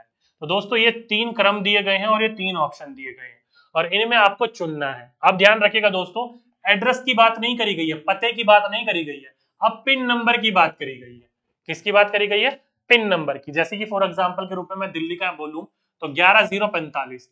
तो ग्यारह ज़ीरो पैंतालीस जो है, आपको क्या करना है? सबसे छोटी भौगोलिक इकाई, यानी कि यहाँ से शुरुआत करनी है और फिर इस तरफ़, यानी कि इस तरफ़ आपको बढ़ना है। किस किस नंबर का क्या क्या मतलब होता है वो आपको बताना है। नीचे दिए गए तीन ऑप्शन है, उसको क्रम में लगाना है। तो जल्दी से बताइए सही आंसर क्या होगा। लाइक एंड शेयर कर दो सभी लोग। अरे भाई, अब क्या बोलूँ आप लोगों को? जिस बच्चे को अच्छा लग रहा हो, वो लाइक करिए वीडियो को, या फिर अच्छा लग रहा है तो शेयर करिए अपने दोस्तों को। नहीं लग रहा है तो कोई दिक्कत नहीं है, आप लोगों के ऊपर है, जिसको शेयर करना है, करिए, जिसको लाइक करना है, करिए।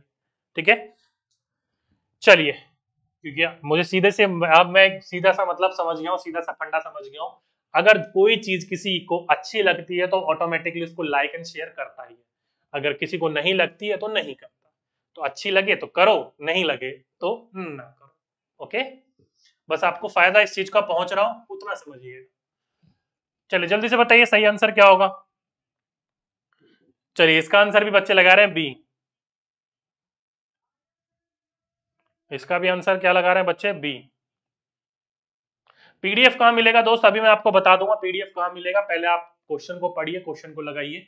अभी मैं आपको पीडीएफ लगा दूँगा। ठीक है? देखो दोस्तों, सभी के सही बच्चों ने क्या लगा दिया? बी अब पता नहीं मुझे पिछले क्वेश्चन के हिसाब से इन्होंने बी लगाया कि क्या लगाया बाकी चेक कर लेते हैं बी मैंने टिक तो ऐसा कर दिया कि सही नहीं सही हो। चलिए चेक करते हैं।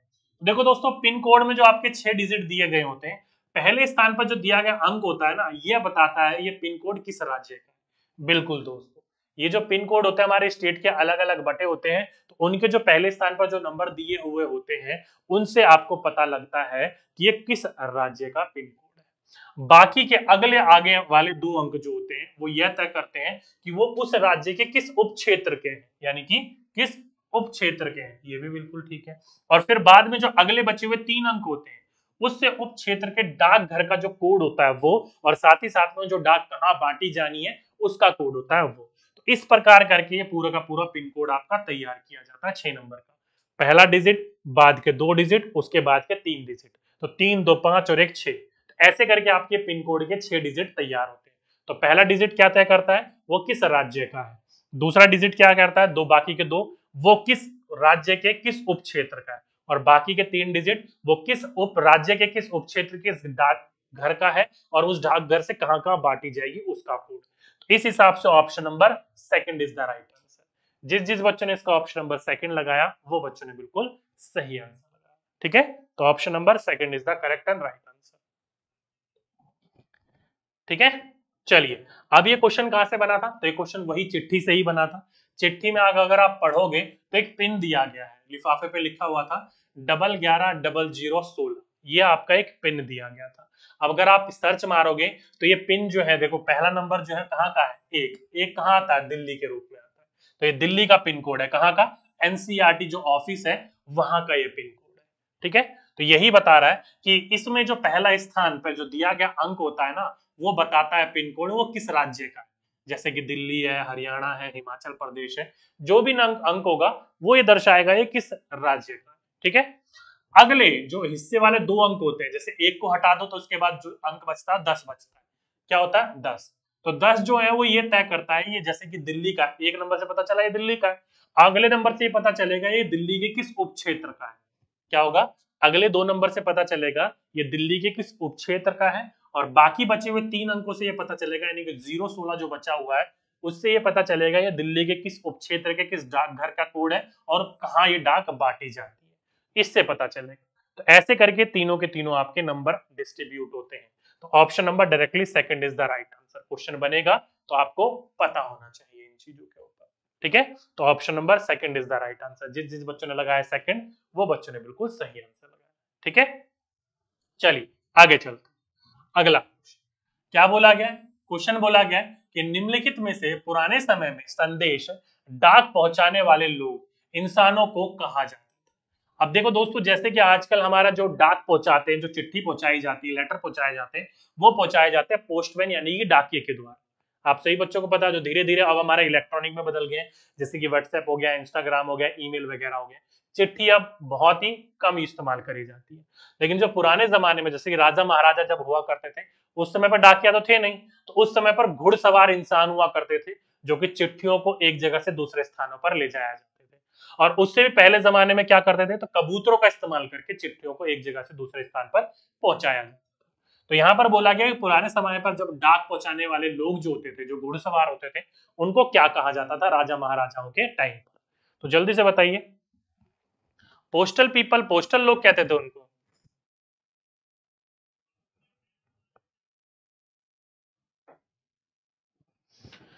चलिए, कई बच्चे कह रहे हैं, क्लास का टाइम नहीं पता। तो भाई मेरे क्लास का टाइम नोट डाउन कर लीजिए। क्लास का टाइम होता है दोपहर में बारह बजे।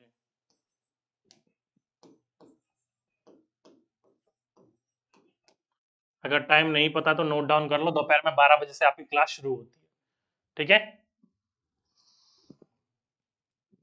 बिल्कुल।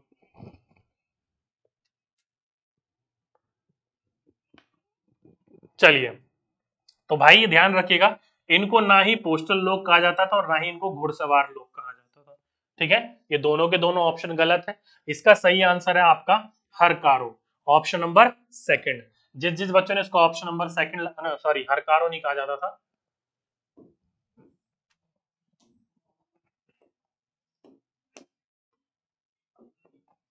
इन्हें कहा जाता था राइट्स यानी कि जस्ट यानी कि ऑप्शन नंबर फ़र्स्ट जिस जिस बच्चों ने इसका ऑप्शन नंबर फ़र्स्ट लगाया, वो बच्चों ने बिल्कुल सही आंसर लगाया, ठीक है?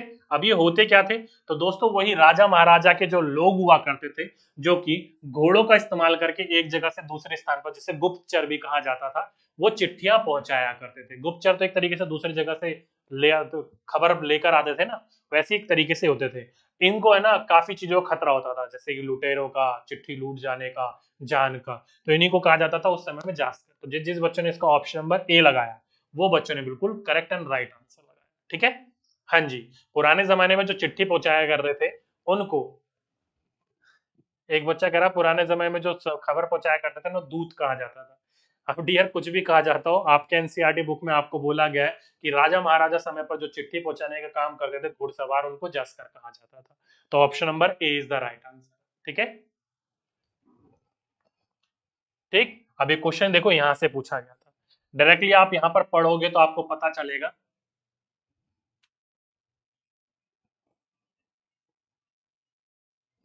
कहा गया? ये देखो, ये रहा। जम्मू एंड कश्मीर के लद्दाख खंड में पदम, जो कि जाशकर जैसी कई जगहें हैं जहाँ पर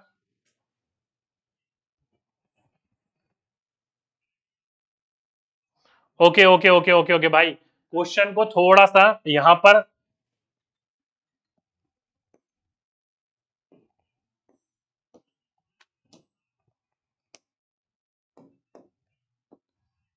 ऑप्शन नंबर सेकंड ही सही आंसर है। पहले हमने सही आंसर लगाया था लेकिन मैं हल्का सा मिसप्रिंट कर गया नाम की जगह पर। जासकर जो जगह है, वो एक जगह है लद्दाख का इलाका है, ठीक है? यहाँ पर जो काफ़ी ऊँचा इलाका है, यहाँ पर जो चिट्ठी पहुँचाने का काम करते हैं, वो आज भी कौन करते हैं? जो हर कार लोग होते हैं, उन्हीं पर ही निर्भर होता है। और जो पुराने समय पर घुड़सवार होते थे, कहा गए? ये रहा, महाराजाओं के समय पर जो घुड़सवार होते थे ये भी चिट्ठों को लेकर एक जगह से दूसरी जगह पर जाया करते थे। तो पहले जो हमने आंसर लगाया था ना बी वो बिल्कुल ठीक है। जास्कर एक जगह का स्थान का नाम है। हल्का सामने क्या हो गया? मिसप्रिंट वो मतलब मिस कंसेप्ट हो गया। उस नाम को हमने एक दूसरे के साथ भोज पोच कर दिया ठीक है? पहले जो हमने बी लगाया था, वो बच्चों ने, हमने बिल्कुल सही आंसर लगाया था। बिल्कुल भाई, बिल्कुल। हल्का सा मिसकंसेप्ट हो गया। तो उस चीज़ को ठीक कर लो आप सभी के सभी। चिट्ठी पहुँचाने का काम जो करते थे, वो घुड़सवार हर कार करते थे। और जास्कर जो है, एक जगह का नाम है, जो कि आज भी वहाँ पर जगहों पर चिट्ठी पहुँचाने का काम कौन करता है तो वो यही करते हैं। ठीक है? राजा महाराजाओं के समय में भी यही करा करते थे। ठीक, कर लिया सभी बच्चों ने? चलिए, आगे चल। आगे चलें तो देखो दोस्तों, कबूतर की कई प्रजातियाँ होती हैं और ये सभी संदेश लाने ले जाने का काम नहीं कर सकती। देखो दोस्तों, क्या बोला मैंने आपका कि पुराने समय पर जो चिट्ठियाँ आज समय पर पहुँचाया जाता वो ईमेल के द्वारा। पहले जो पहुंचाई जाती थी वो डाक, जो डाकिया होता था उसके द्वारा। उससे पहले राजा महाराजा के जो दूत बोला आपने, या जिसको आप हरकार भी बोल सकते हैं, उनके द्वारा पहुँचाया जाता था। और उससे भी पहले कबूतरों का इस्तेमाल किया जाता था। कबूतरों के द्वारा एक चिट्ठी को एक स्थान से दूसरे स्थान पर पहुंचवाया जाता था। लेकिन सभी के सभी, जो कबूतरों की प्रजातियाँ लगभग लगभग साढ़े तीन सौ प्रकार की प्रजातियाँ कबूतरों की तो सभी के सभी कबूतरों की जो प्रजातियाँ हैं, वो चिट्ठियों को एक स्थान से दूसरे स्थान पर नहीं ले जा सकती। कुछ स्पेशल प्रकार की कबूतरों की प्रजाति होती है, जो कि संदेश को ले जाने का काम करती है। तो निम्नलिखित में से वह कौन सी प्रजाति है, जिसे प्रशिक्षित, यानी कि ट्रेनिंग करके डाक भिजवाने का काम करवाया जाता था? तो option number A option number B option number C या फिर ऑप्शन नंबर डी जल्दी से बताइए। निम्नलिखित में से ऐसा कौन सा सही ऑप्शन होगा इसमें से कि कौन से ऐसे कबूतरों की प्रजाति है जिनको डाक पहुँचाने के लिए इस्तेमाल किया जाता था और आज भी करवाया जाता है? कबूतर, जा जा जा। हाँ भाई, कबूतर भिजवा दो तो। पढ़ लो अभी, कबूतर मत भिजवाओ। कौन से कबूतर की प्रजाति जल्दी से बताइए दोस्तों।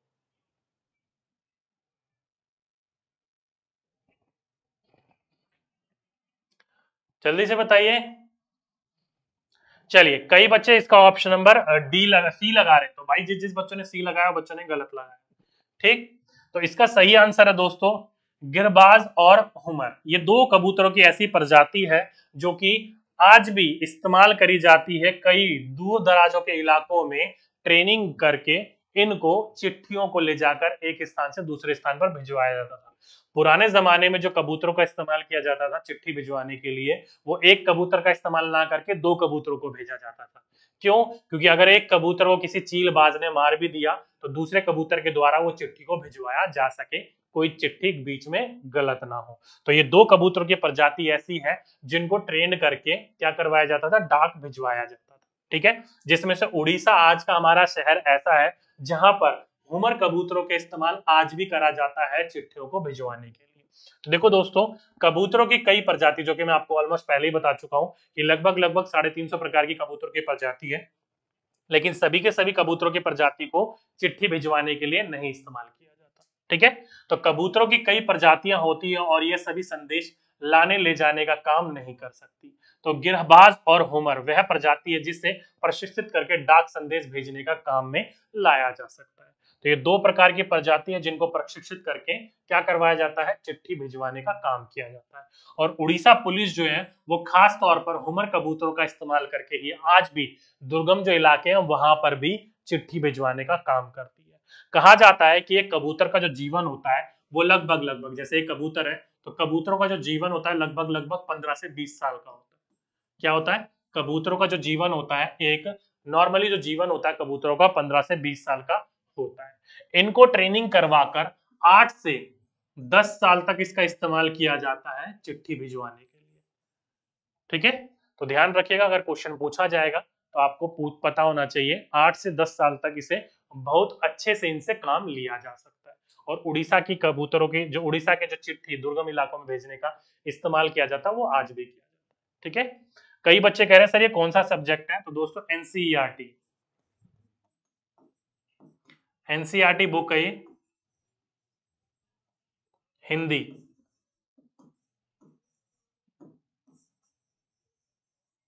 हिंदी की बुक है, वहाँ से पूछा गया। चलिए, आगे चलते। अगला क्वेश्चन बोला गया है कि निम्नलिखित में से हिमाचल प्रदेश या हिमाचल का सबसे ऊँचा गाँव कौन सा है? तो दोस्तों अभी अभी हमने बात करी थी कि दुनिया का सबसे ऊँचा शहर कौन सा है? अब हम बात कर रहे हैं कि हिमाचल जो हमारा राज्य है, हिमाचल प्रदेश उसका सबसे ऊँचा गाँव कौन सा है? भाई एक डाकिए की कहानी लिखी गई है आपकी हिंदी की बुक में। वो हिमाचल प्रदेश के सबसे ऊँचे गाँव में काम किया करता था। उस पर एक बार आक्रमण भी हो गया था और लुटेरों ने उसके, मान लीजिएगा, काफ़ी चीज़ों नुकसान पहुंचाई थी, उसके काफ़ी सारे टाके लगे थे, उन्हीं की कहानी ये लिखी हुई है, ठीक है? तो कौन सा सबसे ऊँचा गाँव है हिमाचल का, वो आपसे पूछा गया। जल्दी से बताइए। फटाफट बताइए, कौन सा बच्चा बताएगा? निम्नलिखित में से ऐसा कौन सा गाँव है जो कि सबसे ऊँचा गाँव माना जाता है हिमाचल का? चले कुछ बच्चे बी लगा रहे हैं, कुछ बच्चे डी लगा रहे हैं और कुछ बच्चे ए लगा रहे हैं। तो भाई, इसका सही आंसर होगा ऑप्शन नंबर सेकंड। लाहौल गाँव जो है, एक ऐसा गाँव है जो कि हिमाचल प्रदेश में पड़ता है और हिमाचल प्रदेश का सबसे ऊँचा गाँव ये माना जाता है। तो option number B is the right answer जिस जिस बच्चे ने बी लगाया, वो बच्चे ने बिल्कुल करेक्ट और राइट आंसर लगाया। ठीक है? अब ये क्वेश्चन कहाँ से बना? देखो दोस्तों, ये है। तो आप क्या शुरू से ही इस डाकघर में काम कर रहे हैं? एक डाकिए से कुछ पत्रकार गए थे मिलने के लिए और उनसे सवाल पूछा गया था। तो उन्होंने ही बोला कि शुरू में मैं लाहौल, ये पहली बताई गई है, एक लाहौल गाँव है, वो कि उसमें उन्होंने तीन साल नौकरी करी गई थी और जो कि हिमाचल प्रदेश का सबसे ऊँचा गाँव है। क्या है? हिमाचल प्रदेश का सबसे ऊँचा गाँव है। तो डायरेक्टली आपका क्वेश्चन यहाँ से बना था। ये पूछा जाएगा अगली बार तो फिर आपको पता होना चाहिए। ठीक है? हाँ जी। B is the right answer ठीक है? चलिए, आगे चलते हैं। अगला क्वेश्चन निम्नलिखित में से क्या बोल रखा है? बोल रखा है सिंपली पाल टाइगर रिज़र्व किस राज्य में स्थित है? तो जल्दी से बताइए Similipal tiger reserve is located कहा स्टेट कहाँ पर ये लोकेटेड है? जल्दी से बताइए ऑप्शन ए नागालैंड उड़ीसा अहमदाबाद या फिर महाराष्ट्र। बिल्कुल सिंपल क्वेश्चन है। ये जो सिंपली पाल टाइगर रिज़र्व है शुरुआत में बनाया गया था टाइगरों को रिज़र्व करने के लिए। फिर धीरे धीरे यहाँ पर हाथियों की, तेंदुए वगैरह की जनसंख्या भी बढ़ी है। ठीक है? तो डायरेक्टली पूछा गया सिंपली पाल टाइगर रिज़र्व जो है वो कहाँ पर स्थित स्थित है? जल्दी से बताइए।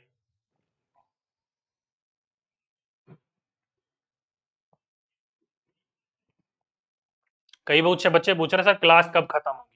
भाई, क्लास खत्म हो जाएगी, पढ़ लो आराम से। चीज़ें जो मिल रही हैं, पढ़ते हुए चलो, क्लास खत्म कर देंगे, टेंशन ना लो। नहीं पढ़ना क्या, बंद कर दे क्लास?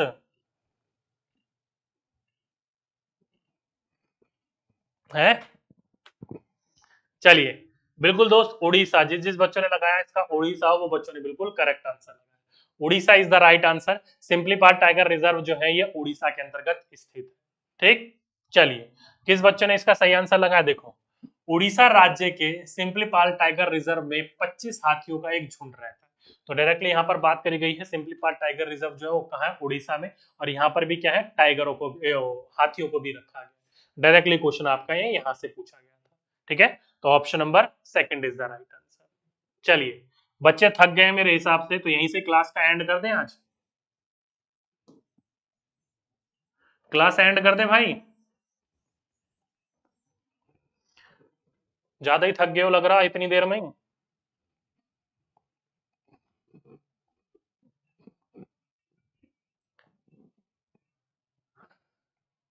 कंटिन्यू करें रोक दे क्लास यहीं?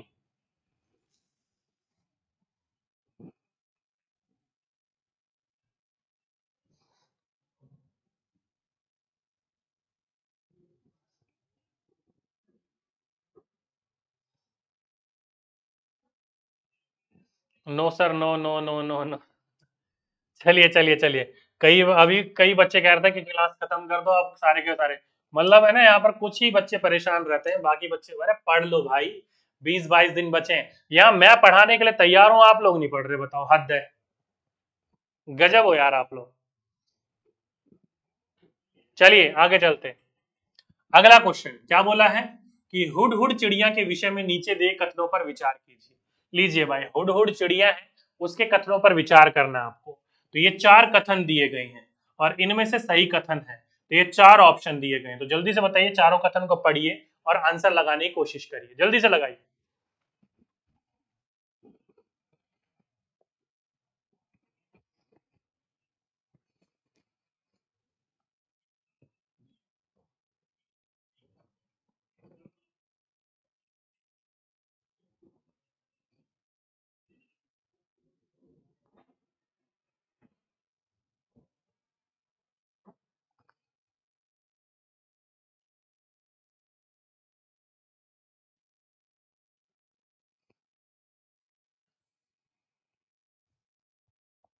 एक बच्चे बच्चा है कि बच्ची है, पता नहीं। शायद फीमेल ही है, वो कह रही है कि, सर, यहाँ से ईवीएस में पूछा जाता है। अभी तक दोस्तों, ये जो क्वेश्चन मैं करवा रहा हूँ, ये न्यू क्वेश्चन है। अभी तक आपके एग्ज़ाम में यहाँ से कोई सा भी क्वेश्चन पूछा नहीं गया है। ठीक है? और आपका क्वेश्चन ये है कि पूछा जा सकता है। बिल्कुल दोस्तों, ये जो क्वेश्चन मैं आपको करवा रहा हूँ हंड्रेड एंड वन परसेंट आपके एग्ज़ाम में ज़रूर देखने को मिलेंगे। मैं कहीं से और क्वेश्चन नहीं करवा रहा हूँ। आपकी एनसीईआरटी बुक से ही करवा रहा हूँ, जहाँ से आपके क्वेश्चन देखने को मिलते हैं आपके ईवीएस e के अंतर्गत।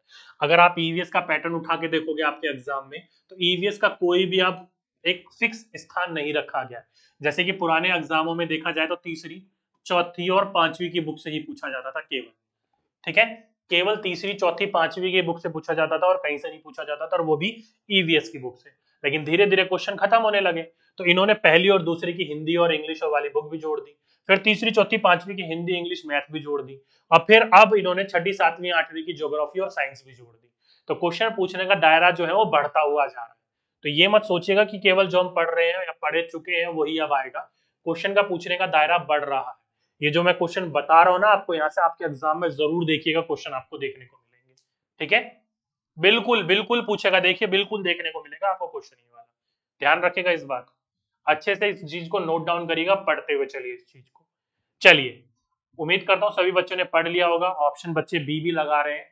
एक बार मैं पढ़ लेता हूँ। देखिए, पहला ऑप्शन है कि हुड हुड जो पक्षी है, उसके शरीर का सबसे सुंदर भाग जो होता है, उसके सिर की जो होती है कलगी। यानी कि उसके सिर के ऊपर एक छोटा सा उभरा सा हिस्सा होता है पंखों का, उसे कलगी बोलते हैं। काफ़ी सुंदर लगता है इसके पक्षी के सिर के ऊपर। बिल्कुल दोस्तों, सही कहा गया इसने। अगला जब भी ये किसी से चौकन्ना होता है तो कलगी अपनी खड़ी कर लेता है, नहीं तो गिरी हुई होती है इसकी कलगी।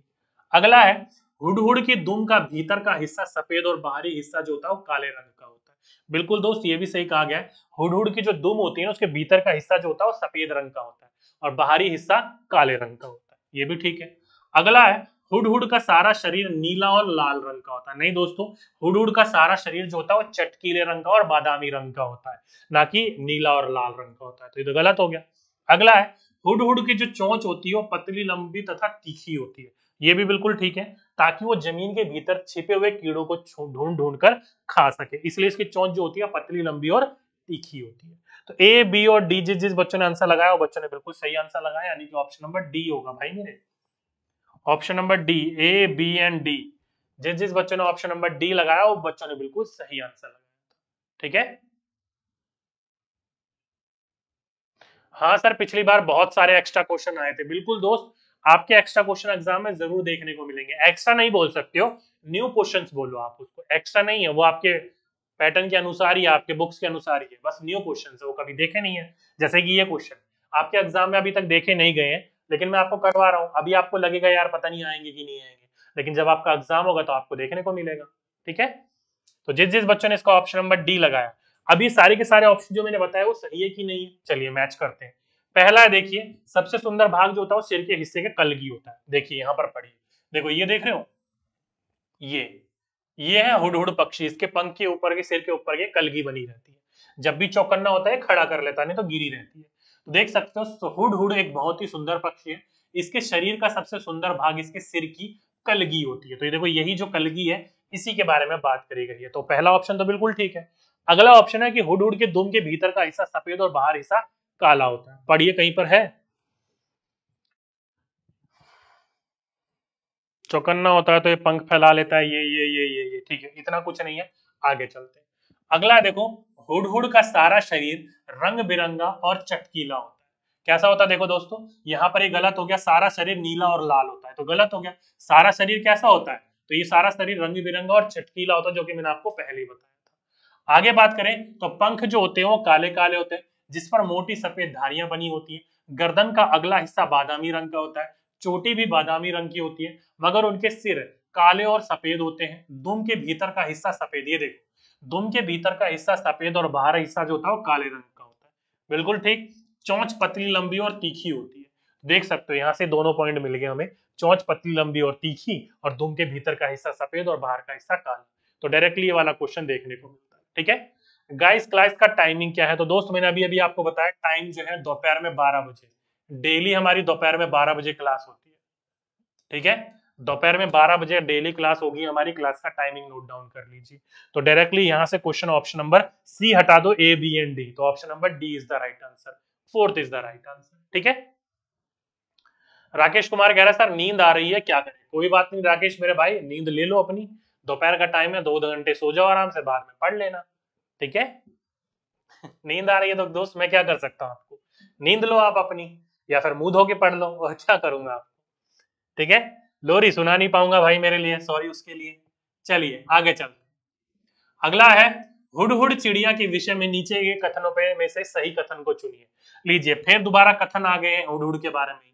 तो ये चार कथन दिए गए हैं और ये चार ऑप्शन दिए गए हैं। बताओ भाई, सही आंसर क्या होगा? दोबारा हुड पक्षी के बारे हुड पक्षी के बारे में बहुत सारी विशेषताएँ दोस्तों। क्वेश्चन के द्वारा ही मैं सारी विशेषता आपको बता दूँगा। अगर आपके एग्ज़ाम में पूछा जाए तो कोई विशेषता आपकी गलत ना हो। जल्दी से बताइए कौन सा सही आंसर होगा। Option A, option B, option C या फिर option number D.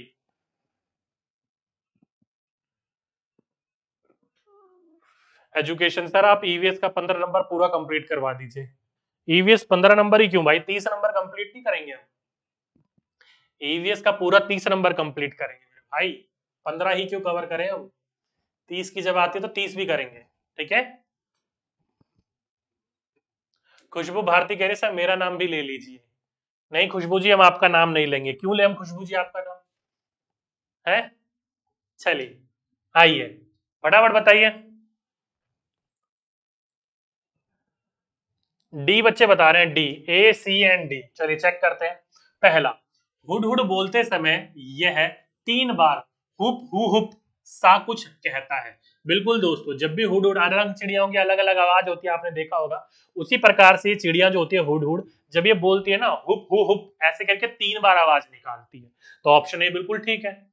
अगला ऑप्शन मादा हुड हुड जो होती है, वो दो से चार अंडे तक देती है। नहीं दोस्तों, ये गलत है।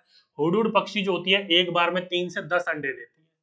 ठीक है? कितनी अंडे देती है? तीन से दस अंडे देती है। तो ये तो गलत हो गया। अगला जब तक बच्चे अंडे से बाहर नहीं निकल जाते, वह अंडों पर बैठी रहती है, हटती नहीं है। बिल्कुल दोस्तों, जो मादा पक्षी होती है, वो अंडों पर ही बैठी रहती है, नर उसको ला लाकर खाना देता है।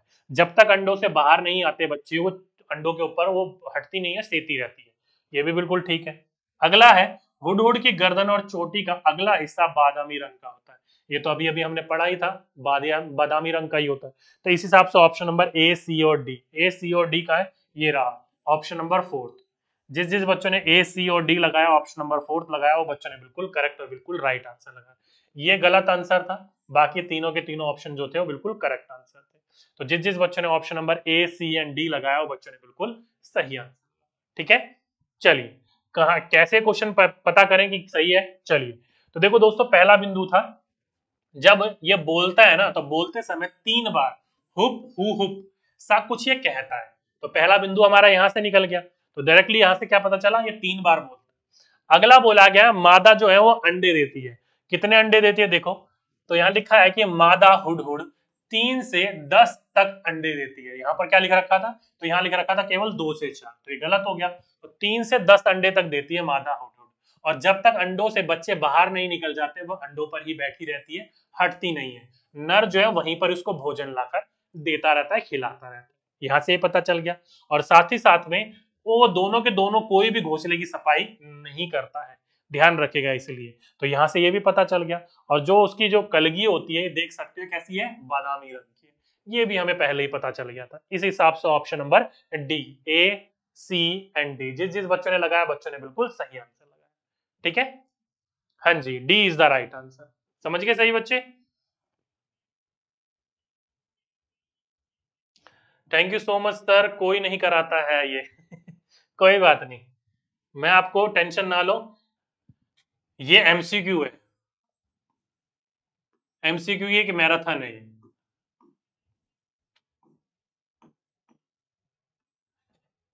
इसी का ही थ्योरी का भी। एक मैराथन ला दूँगा। थ्योरी का मैराथन कौन करना चाहता है इसका? थ्योरी का मैराथन कौन करना चाहता? जल्दी से बताइए। अभी आप केवल एमसीक्यू के रूप में पढ़ रहे हो। थ्योरी के रूप में पढ़ना चाहता है, कोई मैराथन नहीं है।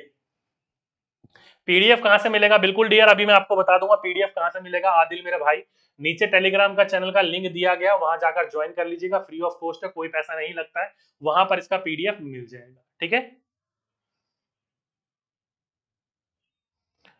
चलिए थ्योरी वाला भी काफ़ी बच्चे हैं जो कि पढ़ना चाहते हैं। ठीक है, कोई दिक्कत वाली बात नहीं है। ये जो भी हम नए क्वेश्चन पढ़ रहे हैं, इनका मैं थ्योरी का भी मैराथन ला दूँगा। एक क्लास में तो नहीं हो पाएगी दोस्तों। कम से कम मैं आपको दो क्लास लूँगा इसकी मैराथन करीब करीब ढाई, तीन, चार घंटे की क्लास होगी। दो मैराथन लूँगा, दोनों में नए जो भी पैटर्न होंगे वो पूरा करा दूँगा। ठीक है? लेकिन कब होगी मैं आपको बता दूँगा टेंशन ना लीजिएगा। आगे चलते अगला क्वेश्चन क्या बोला गया है? कि बुलबुल चिड़िया। क्या है? बुलबुल चिड़िया के विषय में नीचे दिए कथनों पे से सही कथन का चयन कीजिए। तो भाई ये बुलबुल चिड़िया के बारे में चार पाँच कथन दिए गए हैं और ये चार ऑप्शन दिए गए हैं। इन ऑप्शन में से आपको चुनना है। तो जल्दी से इस क्वेश्चन को पढ़िए और आंसर बताने की कोशिश करिए सही आंसर क्या होगा। Select the correct statement about bulbul bird फटाफट बताइए।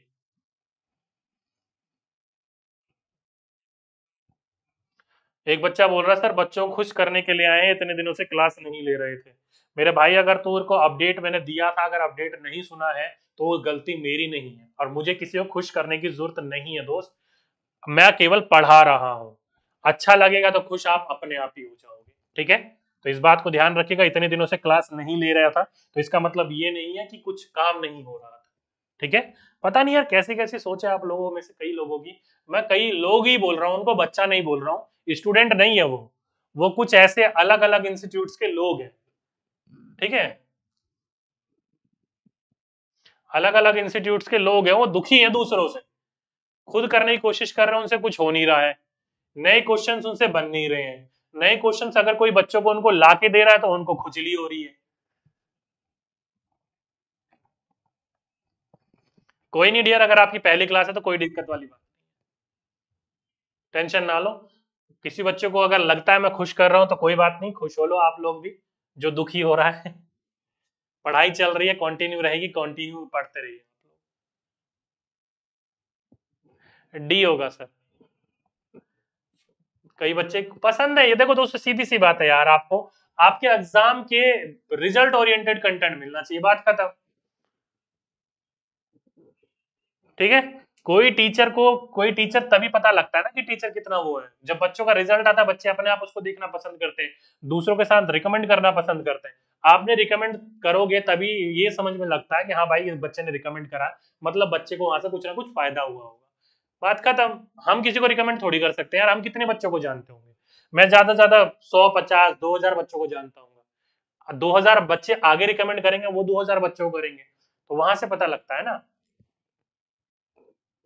बिल्कुल। चलिए रिकमेंडेशन के ऊपर बात होती है पूरी। पढ़ लिया होगा क्वेश्चन आंसर आपने लगा लिया होगा, बहुत अच्छी बात है।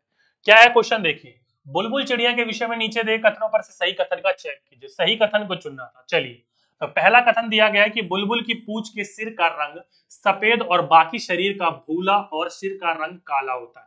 बिल्कुल दोस्त, आप अगर बुलबुल को देखोगे तो पूछ के जो सिरा होता है ना इसका, वो रंग जो होता है सफ़ेद होता है, बाकी हिस्सा भूरा होता है और सिर के ऊपर जो रंग होता है वो काला होता है। बिल्कुल ठीक कहा इसमें अगला, बुलबुल ऐसी भी जिसके सिर पर काले रंग की कलगी हो। बिल्कुल दोस्तों, बुलबुल जो है, अनेक प्रकार की डिज़ाइन की चिड़िया होती है। कुछ बुलबुल चिड़िया ऐसी भी होती है जिनके शरीर शरीर सर होता है, उसके ऊपर एक कलगी, पंख का एक हिस्सा सा लगा रहता है। उसको सिपाही बुलबुल कहते हैं। क्या कहते हैं? जिसके शरीर के, सर के ऊपर कलगी लगी रहती है ना, उसको सिपाही बुलबुल कहते हैं। ठीक है? ध्यान रखिएगा, ये भी बिल्कुल ठीक है। अगला है कि बुलबुल पीपल या फिर बरगद के पेड़ के कीड़े ढूंढकर खाती है। ये भी बिल्कुल ठीक है। बुलबुल जो चिड़िया होती है ना, ये बरगद और पीपल के पेड़ पर बहुत ज़्यादा अटैक करती है। इनमें जो छुपे हुए कीड़े होते हैं, उनको ये खाती है चुन चुन कर ये भी ठीक था। अगला है, बुलबुल जो होती है ना, वो एक बार में तीन से दस अंडे देती है। नहीं दोस्तों, ये गलत है। ये हुडहुड पक्षी के बारे में जो ये पक्षी होती है, बुलबुल पक्षी है, दो से तीन अंडे ही देती है, ज़्यादा अंडे नहीं देती है ठीक है?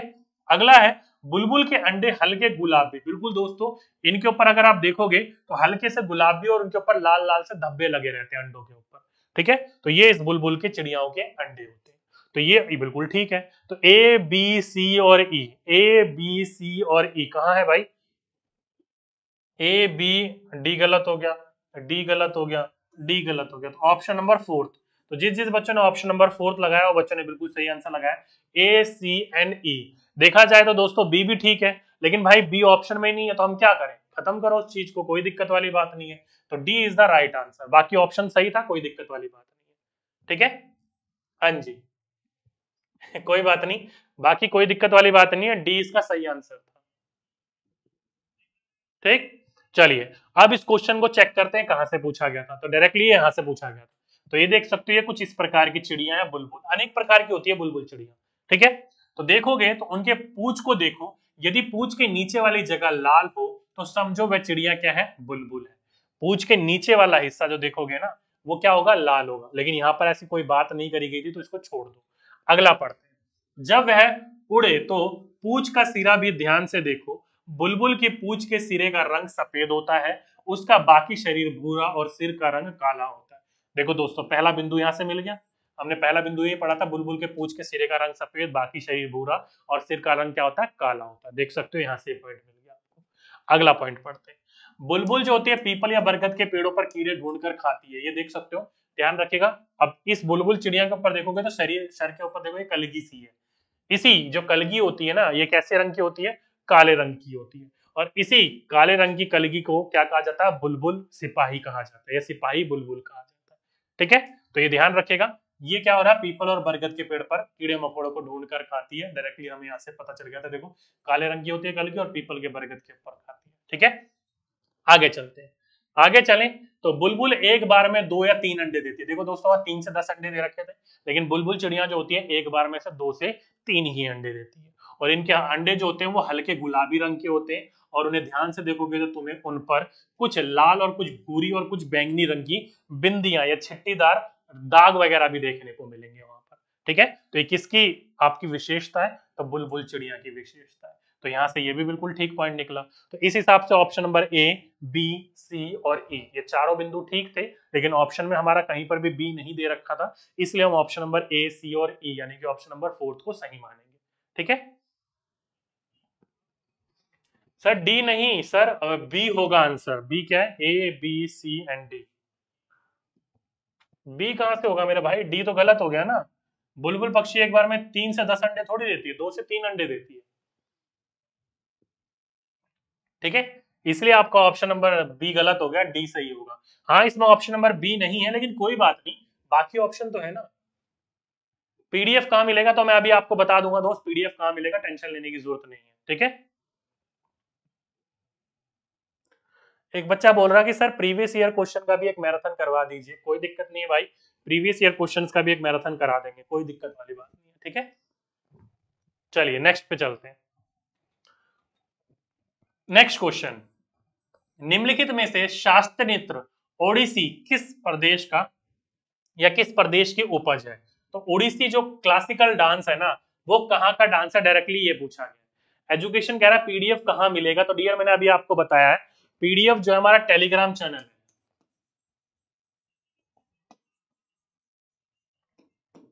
हमारा एक टेलीग्राम चैनल है, जिसका लिंक मैं आपको भेज दे रहा हूँ। D K Gupta, double one, double two. ये टेलीग्राम का लिंक है, बिना स्पेस दिए हुए, बिना जगह छोड़े हुए सर्च मारोगे टेलीग्राम पर तो मिल जाएगा आपको। इकतालीस हज़ार से ज़्यादा बच्चे जुड़े हुए हैं। वहाँ पर इसका मैं पीडीएफ शेयर कर दूँगा, वहाँ से आप डाउनलोड कर लीजिएगा। बाकी इसका लिंक जो है मैंने नीचे डिस्क्रिप्शन में भी डलवा रखा है। और पहला कमेंट भी पिंक करवा दूँगा। अभी मैंने करवाया नहीं है। पहले कमेंट में इसका पिन करवा दूँगा, वहाँ से भी आप डाउनलोड कर लीजिएगा। लिंक दे दूँगा मैं वहाँ पर, पहले कमेंट में। ठीक है? अभी मैंने लिंक नहीं दे रखा। मैं लिंक डलवा देता हूँ। लीजिए, रुक जाइए दो मिनट में मैं लिंक डलवा ही देता हूँ। ठीक है? बाकी अगला क्वेश्चन ये वाला क्वेश्चन आपके सामने इसका आंसर बताइए जब तक। मैं जब तक लिंक डलवा देता हूँ, दो मिनट रुकिए। लिंक डलवा देता हूँ आप लोगों के लिए, परेशान ना होइए।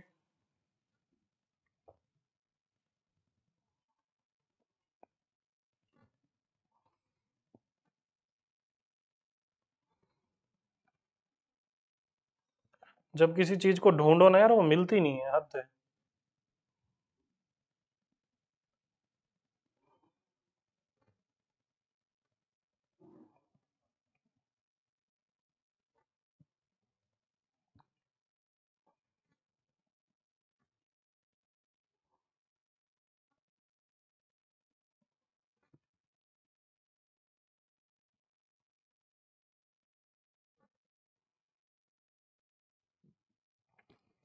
चलिए, पहले कमेंट में मैंने आपका लिंक पिंच करवा दिया, वहाँ से आप देख लीजिएगा।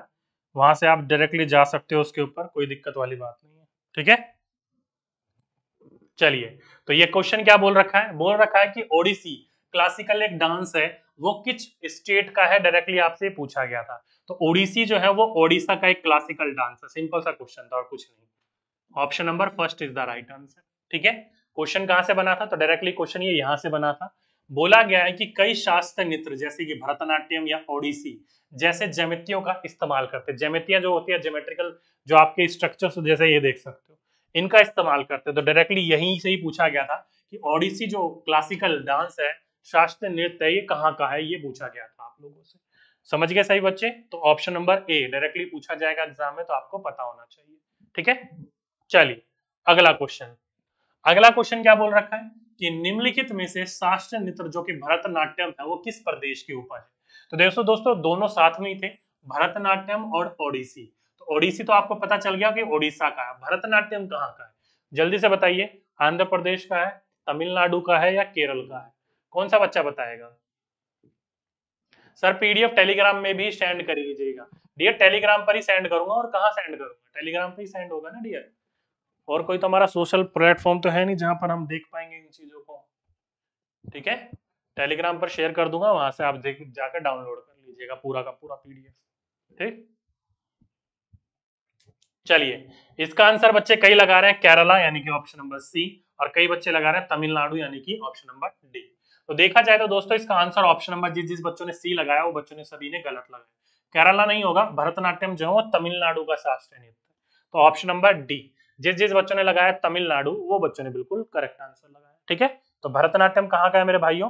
मेरी बहनों, सभी के सभी बच्चे तमिलनाडु का है। कहाँ का है?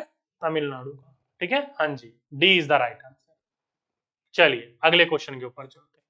अगला क्वेश्चन बोला गया, ये देखो इंपॉर्टेंट क्वेश्चन है न्यू क्वेश्चन वैसा तो क्वेश्चन सारे न्यू है, लेकिन अब तक ये क्वेश्चन आपको देखने को नहीं मिला होगा कहीं पर भी। निम्नलिखित में से कोलम किस राज्य की पारंपरिक लोक कला है? कोलम क्या होती है? तो दोस्तों, यहाँ पर सुबह सुबह नहला धुलाकर एक रंगोली बनाई जाती है घर के आँगन में, जो कि डॉट डॉट करके इस्तेमाल करके बनाई जाती है। कैसे कैसे डॉट डॉट जगह पर आपका इस्तेमाल करके इसे बनाया जाता है, उसी को एक कॉलम कहा जाता है। ठीक है? तो अलग अलग प्रकार के रंगोलियाँ बनाई जाती है, उन्हीं के बारे में यहाँ पर बात करी गई है। ठीक है? तो एक कोलम जो है वो कहाँ के, किस राज्य के द्वारा इस्तेमाल में करा जाता है? पहला ओडिशा, दूसरा आंध्र प्रदेश, तीसरा उत्तर प्रदेश या फिर चौथा तमिलनाडु। जल्दी से बताइए। कोलम जो रंगोली या पारंपरिक लोक कला है, वो किस स्टेट में इस्तेमाल करी जाती है? ट्रेडिशनल फोक आर्ट है ये, जो सुबह सुबह नहला धुलाकर घर के आँगन में एक बोलते हैं ना रंगोली से बनाई जाती है। चलिए, कुछ बच्चे इसका आंध्र प्रदेश लगा रहे हैं, कुछ बच्चे इसका पर उत्तर प्रदेश लगा रहे हैं, और कुछ बच्चे इसका तमिलनाडु लगा तो जिस जिस बच्चों ने भाई उसका तमिलनाडु लगाया, वो बच्चों ने बिल्कुल सही आंसर लगाया। कोलम जो चित्रकला होती है ना ये तमिलनाडु के लोगों के द्वारा सुबह सुबह अपने घर के आँगन में डॉट डॉट करके बनाई जाती है। Tamil Nadu is the right answer fourth is the right answer ठीक है? कहाँ से क्वेश्चन बना था? देखो दोस्तों, यहाँ से। कुछ बच्चे अपने बारे में बता रहे थे तो वहीं पर एक बच्ची बोलती है कि मैं मीनाक्षी हूँ, मैं तमिलनाडु की रहने वाली हूँ। हम रोज सुबह फर्श पर कोलम बनाते हैं या बिंदुओं से बनाए जाते हैं। जैसे कि आप ये देख सकते हो ठीक है? ऐसे ऐसे डॉट डॉट करके अलग अलग घर के आँगन में पेंट, रंगोली से बनाई जाती है, कहाँ पर? तमिलनाडु में। तो डायरेक्टली क्वेश्चन यहाँ से आपका ये बना था। तो option number D, fourth is the right answer. ठीक है? चलिए, आगे चलते हैं। अगला क्वेश्चन। अगला क्वेश्चन बोला है कि निम्नलिखित में से मुर्शिदाबाद शहर कहाँ स्थित है? अभी मुर्शिदाबाद शहर ही क्यों पूछा गया? इंपॉर्टेंट है, अभी मैं आपको बताऊँगा, जल्दी से बताइए। मुर्शिदाबाद शहर जो है वो लोकेटेड इन द फॉलोइंग कहाँ पर है ये city option number A B C या फिर डी कौन सा बच्चा बताएगा? जल्दी से बताइए। फटाफट दोस्तों, तेज़ी से यार। कौन सा निम्नलिखित में से कौन सा मुर्शिदाबाद शहर कहाँ स्थित है? कौन सा बच्चा बताएगा? तेज़ी नाल बताइए।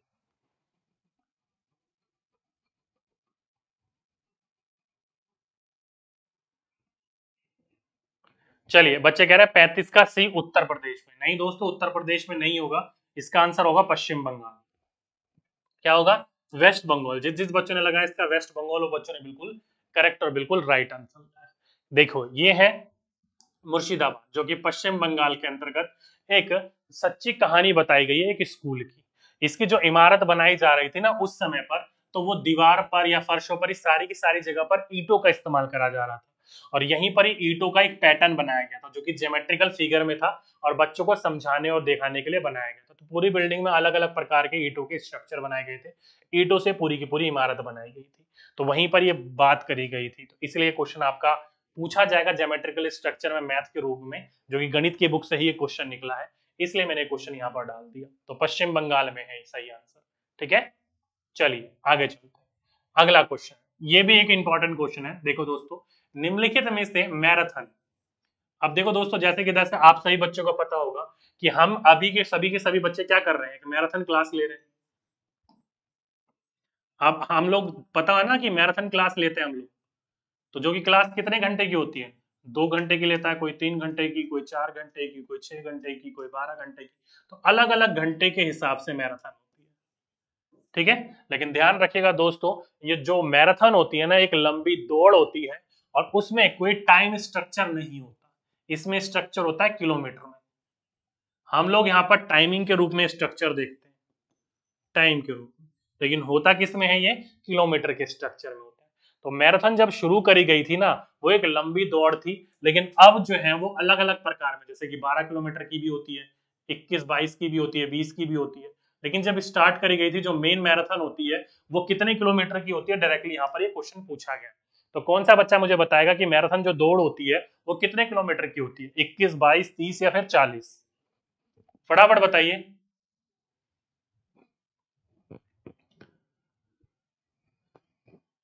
राकेश कुमार कह रहा भाई, नींद भाग गई। चलिए, बहुत अच्छी बात है, नींद भाग गई। तो राकेश मेरे भाई।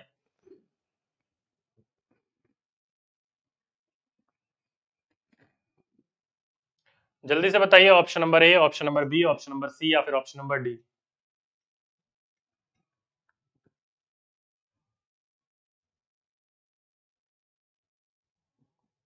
एक बच्चा है, अमन सोनी नाम है। लिख रहा है कि आज पढ़ा रहा है। पहले तो बोलना ठीक, सीख ले भाई अमन। ठीक है? मैं तेरे को प्यार से बात कर रहा हूँ और तू कह रहा, आज पढ़ा रहा है। पहले क्यों नहीं पढ़ाया? तो पहले बोलना ठीक कर, बोलना सही से शुरू कर। अगर अगर पढ़ाया है या नहीं पढ़ाया, वो दूसरी बात है। पहले बोलना सही से सीख। अपने घर वालों से, अपने माँ बाप से भी ऐसी बात करता है क्या? है?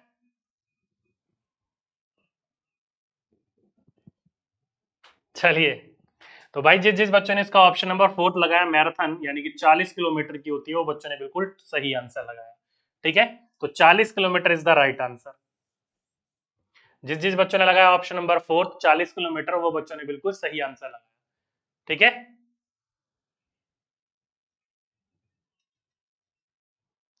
नो सर, पढ़ा रहे हैं। ओके। चलिए, ठीक है, मैंने गलत पढ़ लिया अमन भाई। ठीक है? कोई बात नहीं, मैंने गलत पढ़ लिया होगा, मेरे से मैं गलत मैं माफ़ी मांग लेता हूँ, और बता। रही बात पढ़ाने की तो टेंशन ना ले। मैंने अभी क्या बताया? मैंने आपको बताया सारा का सारा पैटर्न जो है, बिल्कुल न्यू है, ठीक है? मैंने आपको पेड बैच में वो पढ़ाया जो कि आपके लिए इंपॉर्टेंट है। ये अब तक कहीं पर भी किसी तरीके से पूछा नहीं गया है, ठीक है? आगे पूछा जाएगा चांसेस है। नहीं भी पूछा जा सकता चांसेस है। तो ये चीज़ें जो है, वो मैंने मिसलेनियस के अंतर्गत रख, रखी है। अगर आपने जब मेरा टॉपिक आपको पढ़ा रहा था बैड बेच में तो उसमें मैंने आपको बताया था कि मैं आपको दो तीन टॉपिक जो है मिसलेनियस के रूप में पढ़ाऊँगा। अगर आपको पता हो तो तो मिसलेनियस वो यही है। तो पढ़ाया नहीं है तो क्यों नहीं पढ़ाया? मैं चला गया था। कोर्स आपका भी कंप्लीट नहीं हुआ है। तीन चार लेक्चर बचे हुए हैं। तो वहाँ पर भी अमन मेरे भाई मिल जाएगा आपको, ठीक है? चलिए मिसलेनियस के अंतर्गत रख के पढ़ाऊँगा। आएगा तो आंसर लगा दीजिएगा, नहीं आएगा तो आपकी नॉलेज के लिए होगा ठीक है? चलिए, कोई बात नहीं। चालीस किलोमीटर, जिस जिस बच्चों ने लगाया ऑप्शन नंबर फोर्थ चालीस किलोमीटर वो बच्चों ने बिल्कुल सही आंसर लगाया। ठीक है? चलिए क्वेश्चन कहाँ से बना था? तो ये क्वेश्चन बना था यहाँ से। क्या तुमने मैराथन दौड़ के बारे में सुना है, जिसमें लोगों को लगभग 40 किलोमीटर दौड़ना पड़ता है? तो देख सकते हो 40 किलोमीटर। तो मैराथन जो दौड़ होती है, वो कितने किलोमीटर की होती है? तो 40 किलोमीटर की होती है। कितने किलोमीटर की होती है? 40 किलोमीटर की होती है। ठीक है? सर आपकी क्लास लेने से अच्छा अच्छा की नींद कोई बात नहीं, ठीक है? तो मैराथन की दौड़ कितने किलोमीटर की होती है? चालीस किलोमीटर की। तो जिस जिस बच्चे ने ऑप्शन नंबर फोर्थ लगाया, वो बच्चों ने बिल्कुल करेक्ट आंसर ठीक? समझ गए सही बच्चे? आगे चलते हैं। एक मैराथन दौड़ के पीछे एक बहुत बड़ा रीजन है, जो कि तीन स्टेटों के बीच में, तीन कंट्री के बीच में लड़ाई हो रही थी, उसके बीच में एक सैनिक जो था, पैदल दौड़ के भागता। उसकी पूरी की पूरी एक बात कही गई है। लेकिन वो हम अभी यहाँ पर नहीं बात करेंगे वो एक अलग से मैं वीडियो बना दूँगा आपको वहाँ पर चर्चा कर लेंगे ठीक है? अमन सोरी कह रहा नहीं सर हिंदी में टाइपिंग गलती होगी आपका बहुत सम्मान करता हूँ प्लीज़ सर ऐसा मत बोलिएगा सर। कोई बात नहीं अमन भाई अगर आप, आपकी प्रिंटिंग में मिस्टेक होगी या फिर मेरे रीडिंग में मिस्टेक होगी आपको डिस्ग्राफिया हो सकता है मुझे डिसलेक्सिया हो सकता है कुछ भी हो सकता है ठीक है? तो कोई दिक्कत वाली बात नहीं है। आप अपनी तरफ़ से आ, माफ़ी मांग रहे हो मैं अपनी तरफ़ से माफ़ी मांग रहा हूँ। आप अपनी तरफ़ से गलत हो सकते हो, मैं अपनी तरफ़ से गलत हो सकता हूँ। दोनों दोनों तरफ़ से सही हो सकते हैं तो टेंशन ना लो। आप भी बात को भूल जाओ और मैं भी बात को भूल जाता हूँ, दोनों एंजॉय करते हैं अपनी स्टडी को। ठीक है? चलिए, आइए अपनी क्लास में आगे। अगला क्वेश्चन क्या बोल रखा है? कि निम्नलिखित में से कुतुब मीनार की ऊंचाई कितने मीटर है? तो देखो, जल्दी दोस्तों बताइए which of the following is the height of Qutub Minar? Qutub Minar की जो ऊंचाई है, वो कितनी है? वो आपको बोला गया। ठीक है? तो option number A option number B option number C या फिर ऑप्शन नंबर डी तो जल्दी से बताइए कुतुब मीनार की जो ऊंचाई है वो कितनी है? देखो दोस्तों अलग अलग बुक में आप पढ़ोगे अलग अलग विकिपीडिया पढ़ोगे तो अलग अलग आपको देखने को मिलेगा। कहीं कहीं जगह पर इसको तिहत्तर मीटर भी देखने को मिला है। ठीक है? तो उससे घबराने की ज़रूरत नहीं है।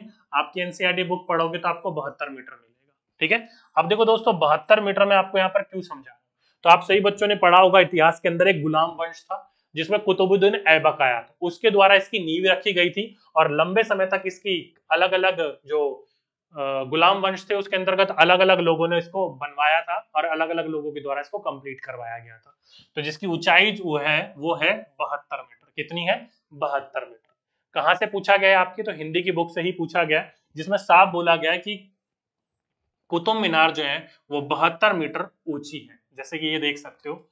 कोई बच्चा दिल्ली में रहता होगा, मेहरौली में अगर आप जाओगे तो देखने को मिल जाएगा ये। मैं गया हूँ, मेहरौली पे मैं काफ़ी बार गया हूँ, लेकिन मैं कभी इसके अंदर एंट्री नहीं करी। मैं इसको बाहर से एक किलोमीटर दूर से दिखता है, मैंने एक किलोमीटर दूर से ही देखा है इसको। कभी गया नहीं यहाँ पर। मैं गया क्यों नहीं? तो इसके पीछे दो रीजन है। जब मैं वहाँ जाता था, मैं वहाँ बहुत टाइम पर, वहाँ मैं बहुत बिज़ी होता था, बहुत ज़्यादा बिज़ी होता था। समय नहीं मिल पाता था जाने का।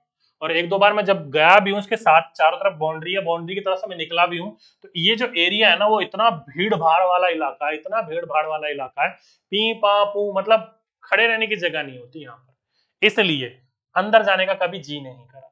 ठीक है? तो कभी भी आपका मन करे तो ज़रूर जाइएगा वहाँ, देखोगे तो आप। काफ़ी अच्छा स्ट्रक्चर आपको देखने को मिलेगा। तो बहत्तर मीटर ऊँचा है तो जिस जिस बच्चे ने ऑप्शन नंबर सेकंड लगाया, वो सभी के सही बच्चों ने बिल्कुल सही आंसर लगाया। ठीक है? चलिए, बच्चा कह रहा है, सर, सब भूल रहा हूँ, पढ़ना पड़ेगा। ओके भाई, पढ़ ले भाई, भूल रहा है तो। अगला क्वेश्चन निम्नलिखित में से भीम बेटका में कितनी गुफाएँ तो आप सही बच्चों को पता चलेगा, भीम बेटका जो है एक, क्या है? मॉन्यूमेंट है, काफ़ी ज़्यादा यहाँ पर पेंटिंग्स वगैरह देखने को मिली है गुफाओं के अंतर्गत। तो वहीं पर ही पूछा गया कि उसके अंदर जो गुफाएँ वो कितनी गुफाएँ हैं? पुरानी गुफाएँ हैं, भीम बेट का। भीम बेट का कहाँ पड़ता है? मध्य प्रदेश में पड़ता है, ठीक है? तो जल्दी से बताइए।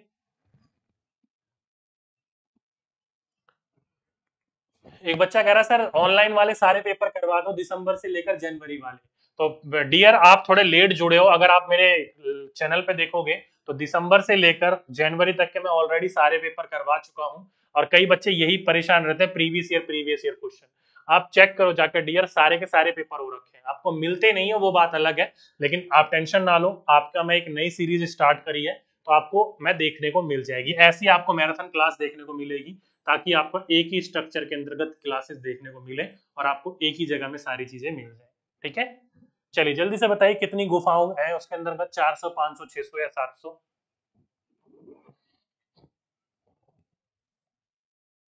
चलिए, कई बच्चे कह रहे हैं चार सौ। अधिकतर बच्चे जो कह रहे हैं चार सौ ही कह रहे हैं।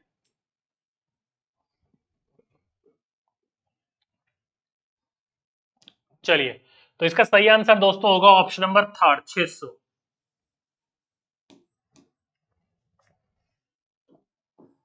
भीमबेटका में अगर आप जाकर देखोगे तो उनमें 600 गुफाएँ देखने को मिली है। 600 गुफाएँ चित्र देखने को मिली है। कहाँ से पढ़ा ये क्वेश्चन तो ये क्वेश्चन यहाँ से पता चला। गाइड ने बताया कि यहाँ कुल मिलाकर 600 गुफाएँ चित्र हैं। तो डायरेक्टली क्वेश्चन यहाँ से देखने को मिला था आपका। ठीक है? तो ये पूरा का पूरा भीम बेटका के बारे में बात करी गई है। भीम बेटका के बारे में ये पूरा का पूरा चर्चा करी गई है। तो जिस जिस बच्चों ने लगाया 600 बच्चों ने बिल्कुल करेक्ट आंसर लगाया। ठीक? पूछा जाएगा? पता होना चाहिए आपको। आगे चले। पूछा गया है कि निम्नलिखित में से भीम बेटका गुफाएँ किस राज्य में स्थित है? तो दोस्तों अभी अभी हमने बात करी थी, कोई बड़ी बात नहीं है, मध्य प्रदेश में। तो इसका आंसर तो सभी बच्चों को मैंने पहले ही दे दिया था। क्वेश्चन पूछा जाएगा तो अगली बार आपको फिर पता होना चाहिए, मध्य प्रदेश के अंतर्गत ये भीम बेटकाएँ देखने को मिलती है, ठीक है? तो option number D, fourth is the right answer. जिस जिस बच्चों ने फोर्थ लगाया बच्चों ने बिल्कुल करेक्ट आंसर लगाया। ठीक है? इस क्वेश्चन को यहीं छोड़ देते हैं, कोई दिक्कत वाली बात नहीं है। आगे चलते अगला क्वेश्चन। निम्नलिखित में से भीम बेटका गुफा में बताए गए गुफा चित्र में सबसे पुराना कौन सा है? लीजिए। तो आपको पता होगा ये जो भीम बेटका के अंदर चित्र पाए जाते थे, वो हिरण, हाथी अलग अलग प्रकार के लोगों के चित्र बनाए गए थे गुफा के अंतर्गत। इसमें जो सबसे पुराना चित्र है, वो कौन सा है? नौ हज़ार साल पुराना है, दस हज़ार साल पुराना है, पिचासी साल पुराना है, या निन्यानवे सौ उनहत्तर साल पुराना चित्र है। तो कौन सा सबसे पुराना चित्र है, वो आपको बताना है। सबसे ओल्डेस्ट जो आपका पेंटिंग है गुफा के अंदर, वो बताना है आपको। जल्दी से बताइए। जल्दी से बताइए।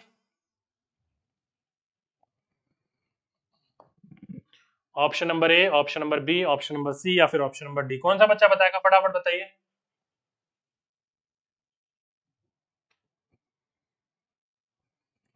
चलिए। सब बच्चे लगा रहे हैं ऑप्शन नंबर डी।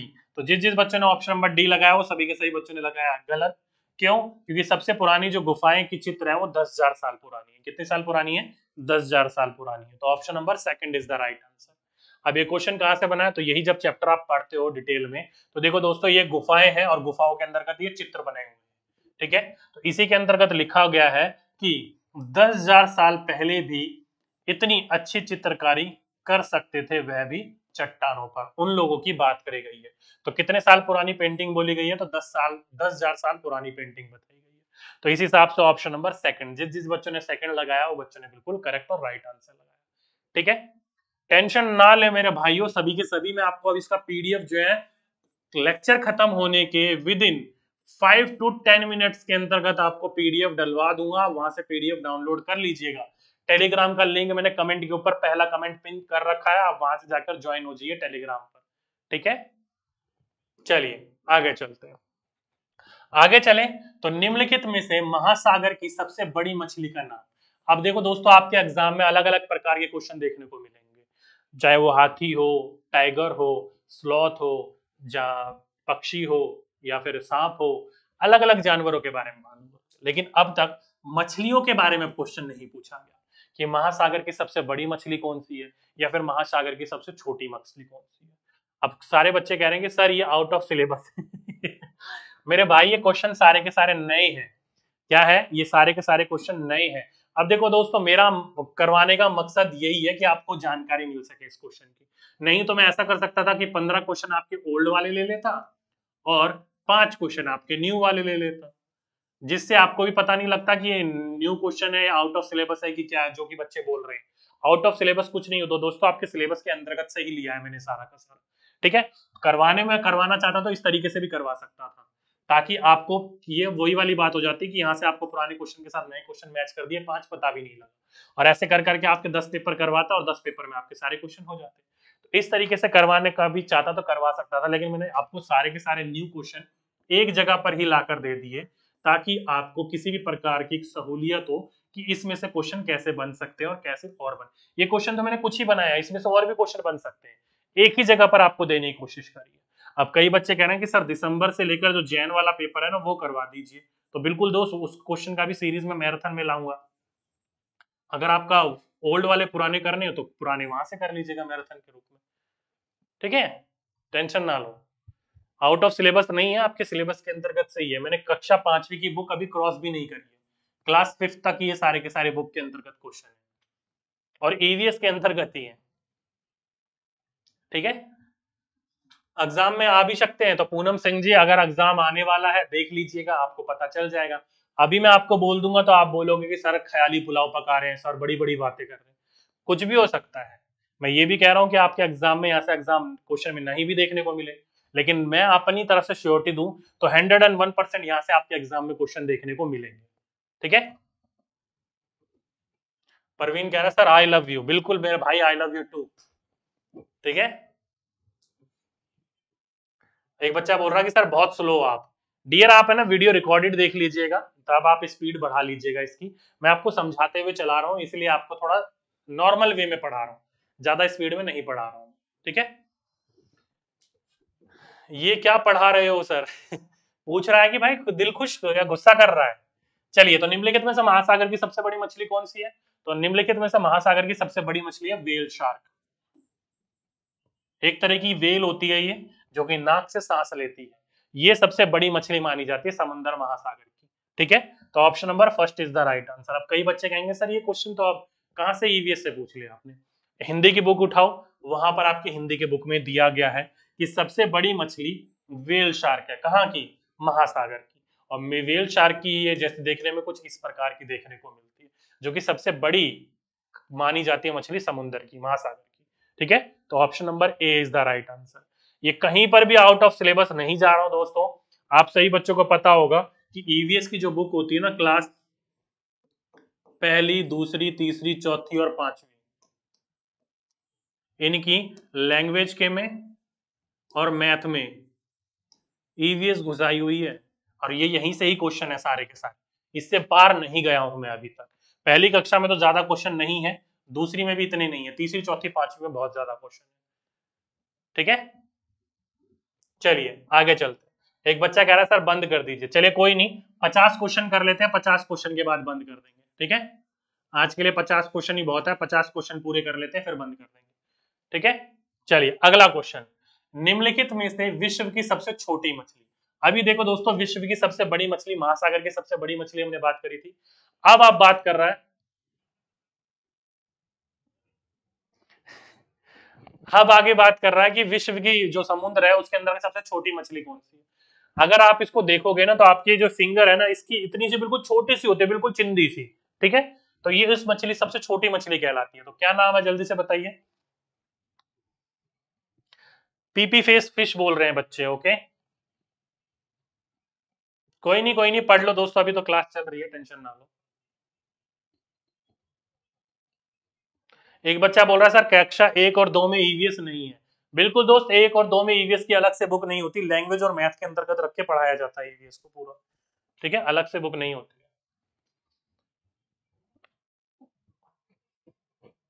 राकेश कह रहा नहीं नहीं, सर, कम से कम सौ।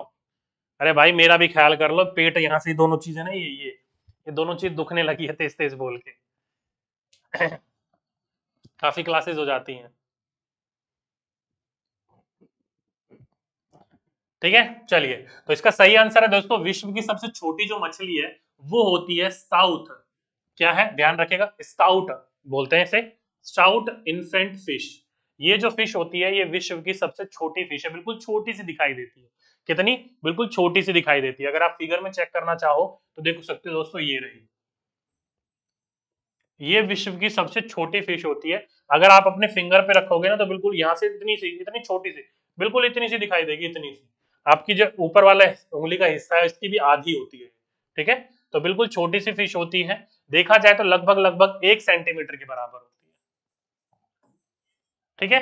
तो ये विश्व की सबसे छोटी फ़िश है। तो ऑप्शन नंबर ए, जिस जिस बच्चों ने लगाया, वो बच्चों ने बिल्कुल सही आंसर लगाया। ठीक है?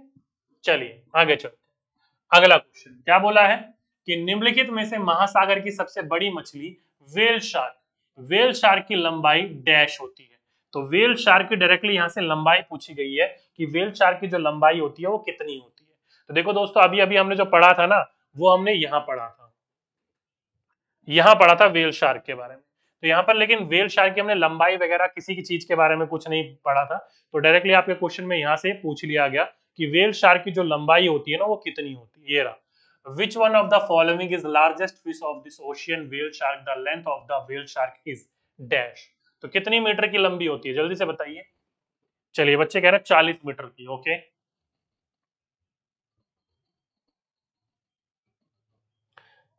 एक बच्चा पूछा, सर, आप फ़िश खाते हो कि नहीं खाते हो? बिल्कुल डियर, मैं खाता हूँ फ़िश, कोई दिक्कत नहीं है। मैं तो खाता हूँ, क्यों नहीं खाऊँगा मैं? मैं नॉन वेजिटेरियन नहीं हूँ। ओ मैं वेजिटेरियन नहीं हूँ नॉन वेजिटेरियन हूँ। ठीक है? चलिए तो जिस जिस बच्चे ने इसका आंसर लगाया ऑप्शन नंबर फ़र्स्ट 18 मीटर। वो बच्चों ने बिल्कुल सही आंसर लगाया। क्या होगा? 18 मीटर। अभी मैं गाँव में गया था तो गाँव में हमारे गाँव से 20 किलोमीटर दूर हमारे गाँव के इलाके का जो राजा हुआ करता था किसी समय पर, वहाँ पर मैं गया था घूमने के लिए। तो वहाँ काफ़ी सारी लेक्स हैं तो वहाँ पर मैं देख रहा था फिशिंग वगैरह करते हुए। कभी मैं हुआ तो इंस्टाग्राम वगैरह पे वीडियो अपलोड करूँगा, आप देखिएगा।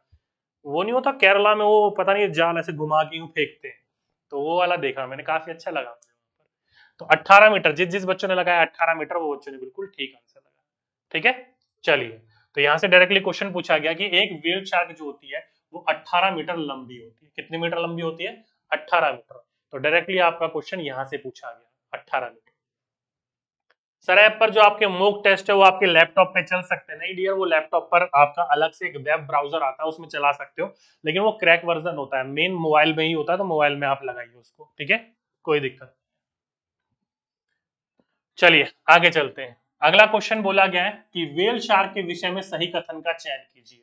तो ये कुछ पाँच कथन दिए गए हैं और ये चार ऑप्शन दिए गए हैं। पढ़ो, आप सही बच्चों के पास इसके एक मिनट है और आंसर लगाने की कोशिश करो। आराम से मैं बैठा हूँ, बताइए सही आंसर क्या होगा। एक मिनट है आपके पास।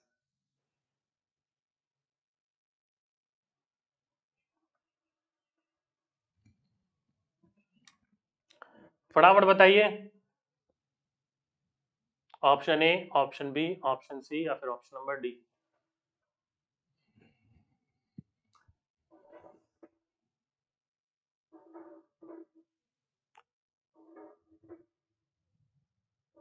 फटाफट बताइए, फटाफट दोस्तों, दस सेकंड है आपके पास।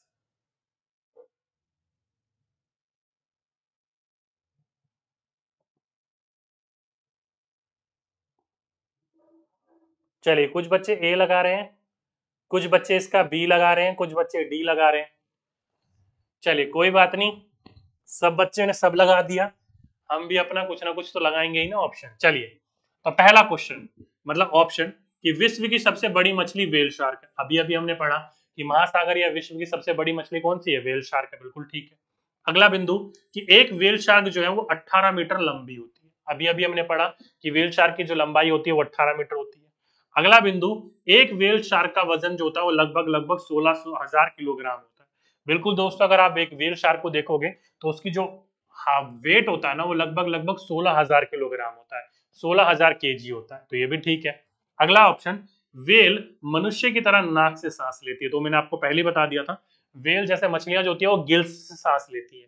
लेकिन जो वेल होती है, वो अपनी नाक, जो ऊपर की तरफ़ होती है, उसके द्वारा वो पानी की सतह पर आकर सांस लेती है, फुहारा सा छोड़ती है। तो नाक से सांस लेते बिल्कुल ठीक है। और वेल की पूछ दो पैरों के समान दिखाई देती है। अगर आप वेल को देखोगे सही तरीके से तो कुछ इस प्रकार से। कुछ इस प्रकार से इसकी पूछ होती है जो कि दो टांगों की तरह दिखाई देती है। तो ये भी बिल्कुल सही आंसर है। तो इस हिसाब से option A B C and D तीनों पाँचों के पाँचों सही थे। तो ऑप्शन नंबर ए जिस जिस बच्चों ने इसका ऑप्शन नंबर ए लगाया A B C D and A वो बच्चों ने बिल्कुल करेक्ट आंसर लगाया। ये पाँचों के पाँचों बिंदु जो थे, वो बिल्कुल करेक्ट आंसर थे, ठीक है? तो ये सारे के सारे बिंदु किससे थे? वेल शार्क से रिलेटेड थे, ओके? चलिए, अब ये क्वेश्चन कहाँ से बना था? तो ये क्वेश्चन बना था दोस्तों यहाँ से। पढ़ोगे तो सबसे बड़ी मछली वेल शार्क है। वास्तव में यह वेल नहीं है, बल्कि एक बड़ी मछली है। वेल मछलियाँ से अलग होती है और वेल हमारी ही तरह नाक से सांस लेती है। तो कहाँ से सांस लेती है? नाक से सांस लेती है। और सबसे बड़ी मछली कौन सी होती है? तो वेल शार्क होती है। तो यहाँ से दो चीज़ पता चल गई आपको, ठीक है? आपको ये तो पता ही होगा कि मछली वगैरह जो होते हैं वो अंडे देती है और वेल शार्क जो होती है बड़ी और खतरनाक दिखाई देती है, परंतु ये किसी भी मनुष्य को नुकसान नहीं पहुंचाती है। मनुष्य के ऊपर ये हमला नहीं करती। हाइट की बात करी जाए तो इस वेल शार्क की जो लंबाई होती है, लगभग लगभग 18 मीटर होती है। वज़न की बात करी जाए तो लगभग लगभग सोलह हज़ार के जो इसका होता है लगभग लगभग इसका वज़न होता है। ठीक है? अगर आप इसकी पूछ को देखोगे ना तो वो दो पैरों की तरह आपको समान दिखाई देगी। और यही सारे के सारे बिंदु आपको यहाँ दे रखे थे और इसी के ऊपर हमें चर्चा करनी ठीक है? तो इस तरीके से आप देख सकते हो option number A is the right answer A B C D and E is the right answer ठीक है? समझ गए सही बच्चे? चलिए, आगे चलते अगला क्वेश्चन निम्नलिखित में से लाल किला का मुख्य गेट कौन सा है? अब कई बच्चे कहेंगे, यार डायरेक्टली ईवीएस से हम कहा एस पे पहुँच गए? तो दोस्तों, हल्का सा मैंने अभी आपको बताया था, हिंदी की बुक में आपका एक चैप्टर दिया गया हुआ है, एक मशहूर कलाकार। वहीं से ही आपके पूरा का पूरा बिंदु निकल के आता है, लाल किले के बारे में बात करी गई है तो लाल किले में बात करी जाए। शोभा पांडे कह रही है, सर, आज बहुत ही न्यू क्वेश्चन सीखने को मिले हैं। Thank you so much sir ji. Thank you dear कोई बात नहीं। मेरा भी यार ऐसा लग रहा है गला सा बैठ गया। काफ़ी दिनों बाद क्लास लिया मैंने बीस बाईस दिन बाद गाँव में बैठे बैठे वरना तो इतनी देर में क्लास में कुछ नहीं होता था, पेट में दर्द होने लग गया। कोई नहीं, वैसे दोबारा हैबिट बन जाएगी, किसी भी आदत को बनाने के लिए इक्कीस दिन चाहिए होते हैं। हम यहाँ बाईस दिन से बैठे हुए थे तो आदत छूट गई। तो बाईस दिन में आदत छूट सकती है तो इक्कीस दिन में आदत दोबारा लग भी जाएगी, ठीक है? और वैसे भी आदत हमारी जल्दी लग जाएगी, टेंशन नहीं है। बुरी आदत थोड़ी अच्छी आदत है। चलिए तो जल्दी से बताइए कि लाल किले का जो किला है हमारा, उसका मुख्य गेट कौन सा है? ऑप्शन ए, लाहौरी गेट है। ऑप्शन बी, सुभाष है, या फिर डी, सी, मोती है, या फिर डी, मीना है। जल्दी से बताइए। सर, बंद कर दीजिए। कोई नहीं डियर, चार पाँच क्वेश्चन और कर लेते हैं, पचास तक फिर बंद कर देंगे। एक बच्चा कह रहा सर, आप मोटे हो गए इसलिए। हाँ यार, बैठे बैठे खाए ना वहाँ पर। मोटा हो गया कुछ वहाँ था तो था ही नहीं करने के लिए। खाया, पिया, सोए, बैठे रहे। सर, आपकी क्लास कब होती है? तो dear, daily class class time में नोट डाउन कर लो। ये बात तो मैं मानता हूँ, वज़न बढ़ गया यार, गाँव जाकर। क्लास टाइम है मेरा डेली बारह बजे। क्लास टाइम क्या है? डेली बारह बजे। ठीक है? सर, आप कहाँ से हो? डियर, मैं बिहार के सहरसा जिला से। ओके? चलिए तो लाल किला का जो प्रमुख गेट है ना दोस्तों, वो है Lahauli, Lahori gate. Option number A, जिस जिस बच्चों ने लगाया ऑप्शन नंबर ए, अगर आप कभी लाल किला घूमने के लिए जाओगे तो वहीं से ही सारी की सारी एंट्री करवाई जाती है, लाहौरी गेट उसको कहा जाता है। अगर नहीं देखा आपने लाल किला तो कोई बात नहीं, फिगर पे आइए। ये देखिए, ये हमारा लाल किला है। इसी में आप जाओगे तो इस यहाँ पर आपको टिकट लेनी पड़ती है और लंबी लाइन का भी सामना करना पड़ेगा। और जो मुख्य गेट है उसका लाहौरी गेट है। क्या है लाल किले का प्रमुख गेट? वो लाहौरी गेट है। अब ये जो लाहौरी गेट है आपका, अगर आप मैप में देखोगे तो ये यहाँ पर देखने को मिलेगा। ये मेन रोड है। मेन रोड से एंट्री करोगे तो ये गेट मिलेगा इसी के बाद आगे जाकर ये पूरे के पूरे महल का एक विवरण दिया गया है। ये पूरा का पूरा बाउंड्री करी गई है और इस बाउंड्री के अंदर ये पूरे अलग अलग जो हिस्से हैं वो बनाए गए हैं। तो यही जो है आपका वो मेन गेट कहलाता है अंदर जाने के लिए। ठीक है? तो पूछा जाएगा आपसे तो आपको पता होना चाहिए इस चीज़ के बारे में। ठीक है? चलिए, आगे चलते हैं। अगला क्वेश्चन बोला गया है कि निम्नलिखित में से दीवाने आम और दीवाने खास कौन से किले में शामिल है? तो जल्दी से बताइए दीवाने आम और दीवाने खास जो है, वो कौन से किले में आपके शामिल है? ये कुछ नहीं है, आपके एक तरीके से दरबार लगाए जाते थे, जिसमें दीवाने आम जो होता था, इसमें सभी आम लोगों से मिला जाता था, या फिर जो हमारा पूरा का पूरा प्रजा होती थी, राजा की, उससे मिला जाते थे, और दीवाने खास में जो उनके मंत्री वगैरह होते थे, उनका मंत्रिमंडल होता था, उनसे बात करके मीटिंग वगैरह करी जाती थी, उसी को दीवाने आम और दीवाने खास कहा जाता है। तो ये किसके किले के अंतर्गत शामिल थी? Option number A, B, C या फिर डी? सब कुछ पता चलेगा डियर आपका एप्लीकेशन कौन सा है टेलीग्राम कौन सा है इंस्टाग्राम कौन सा है, सब कुछ बता दूँगा, पहले आप अभी क्वेश्चन को लगाइए। जो मेन काम है, पहले वो कर लेते हैं, ठीक है? चलिए तो जिस जिस बच्चों ने दोस्तों इसका क्या लगाया, लाल किला, वो बच्चों ने बिल्कुल करेक्ट आंसर लगाया। Lal Qila is the right answer जिस जिस बच्चों ने लगाया इसका रेड फोर्ट वो बच्चों ने बिल्कुल करेक्ट आंसर लगाया, ठीक है?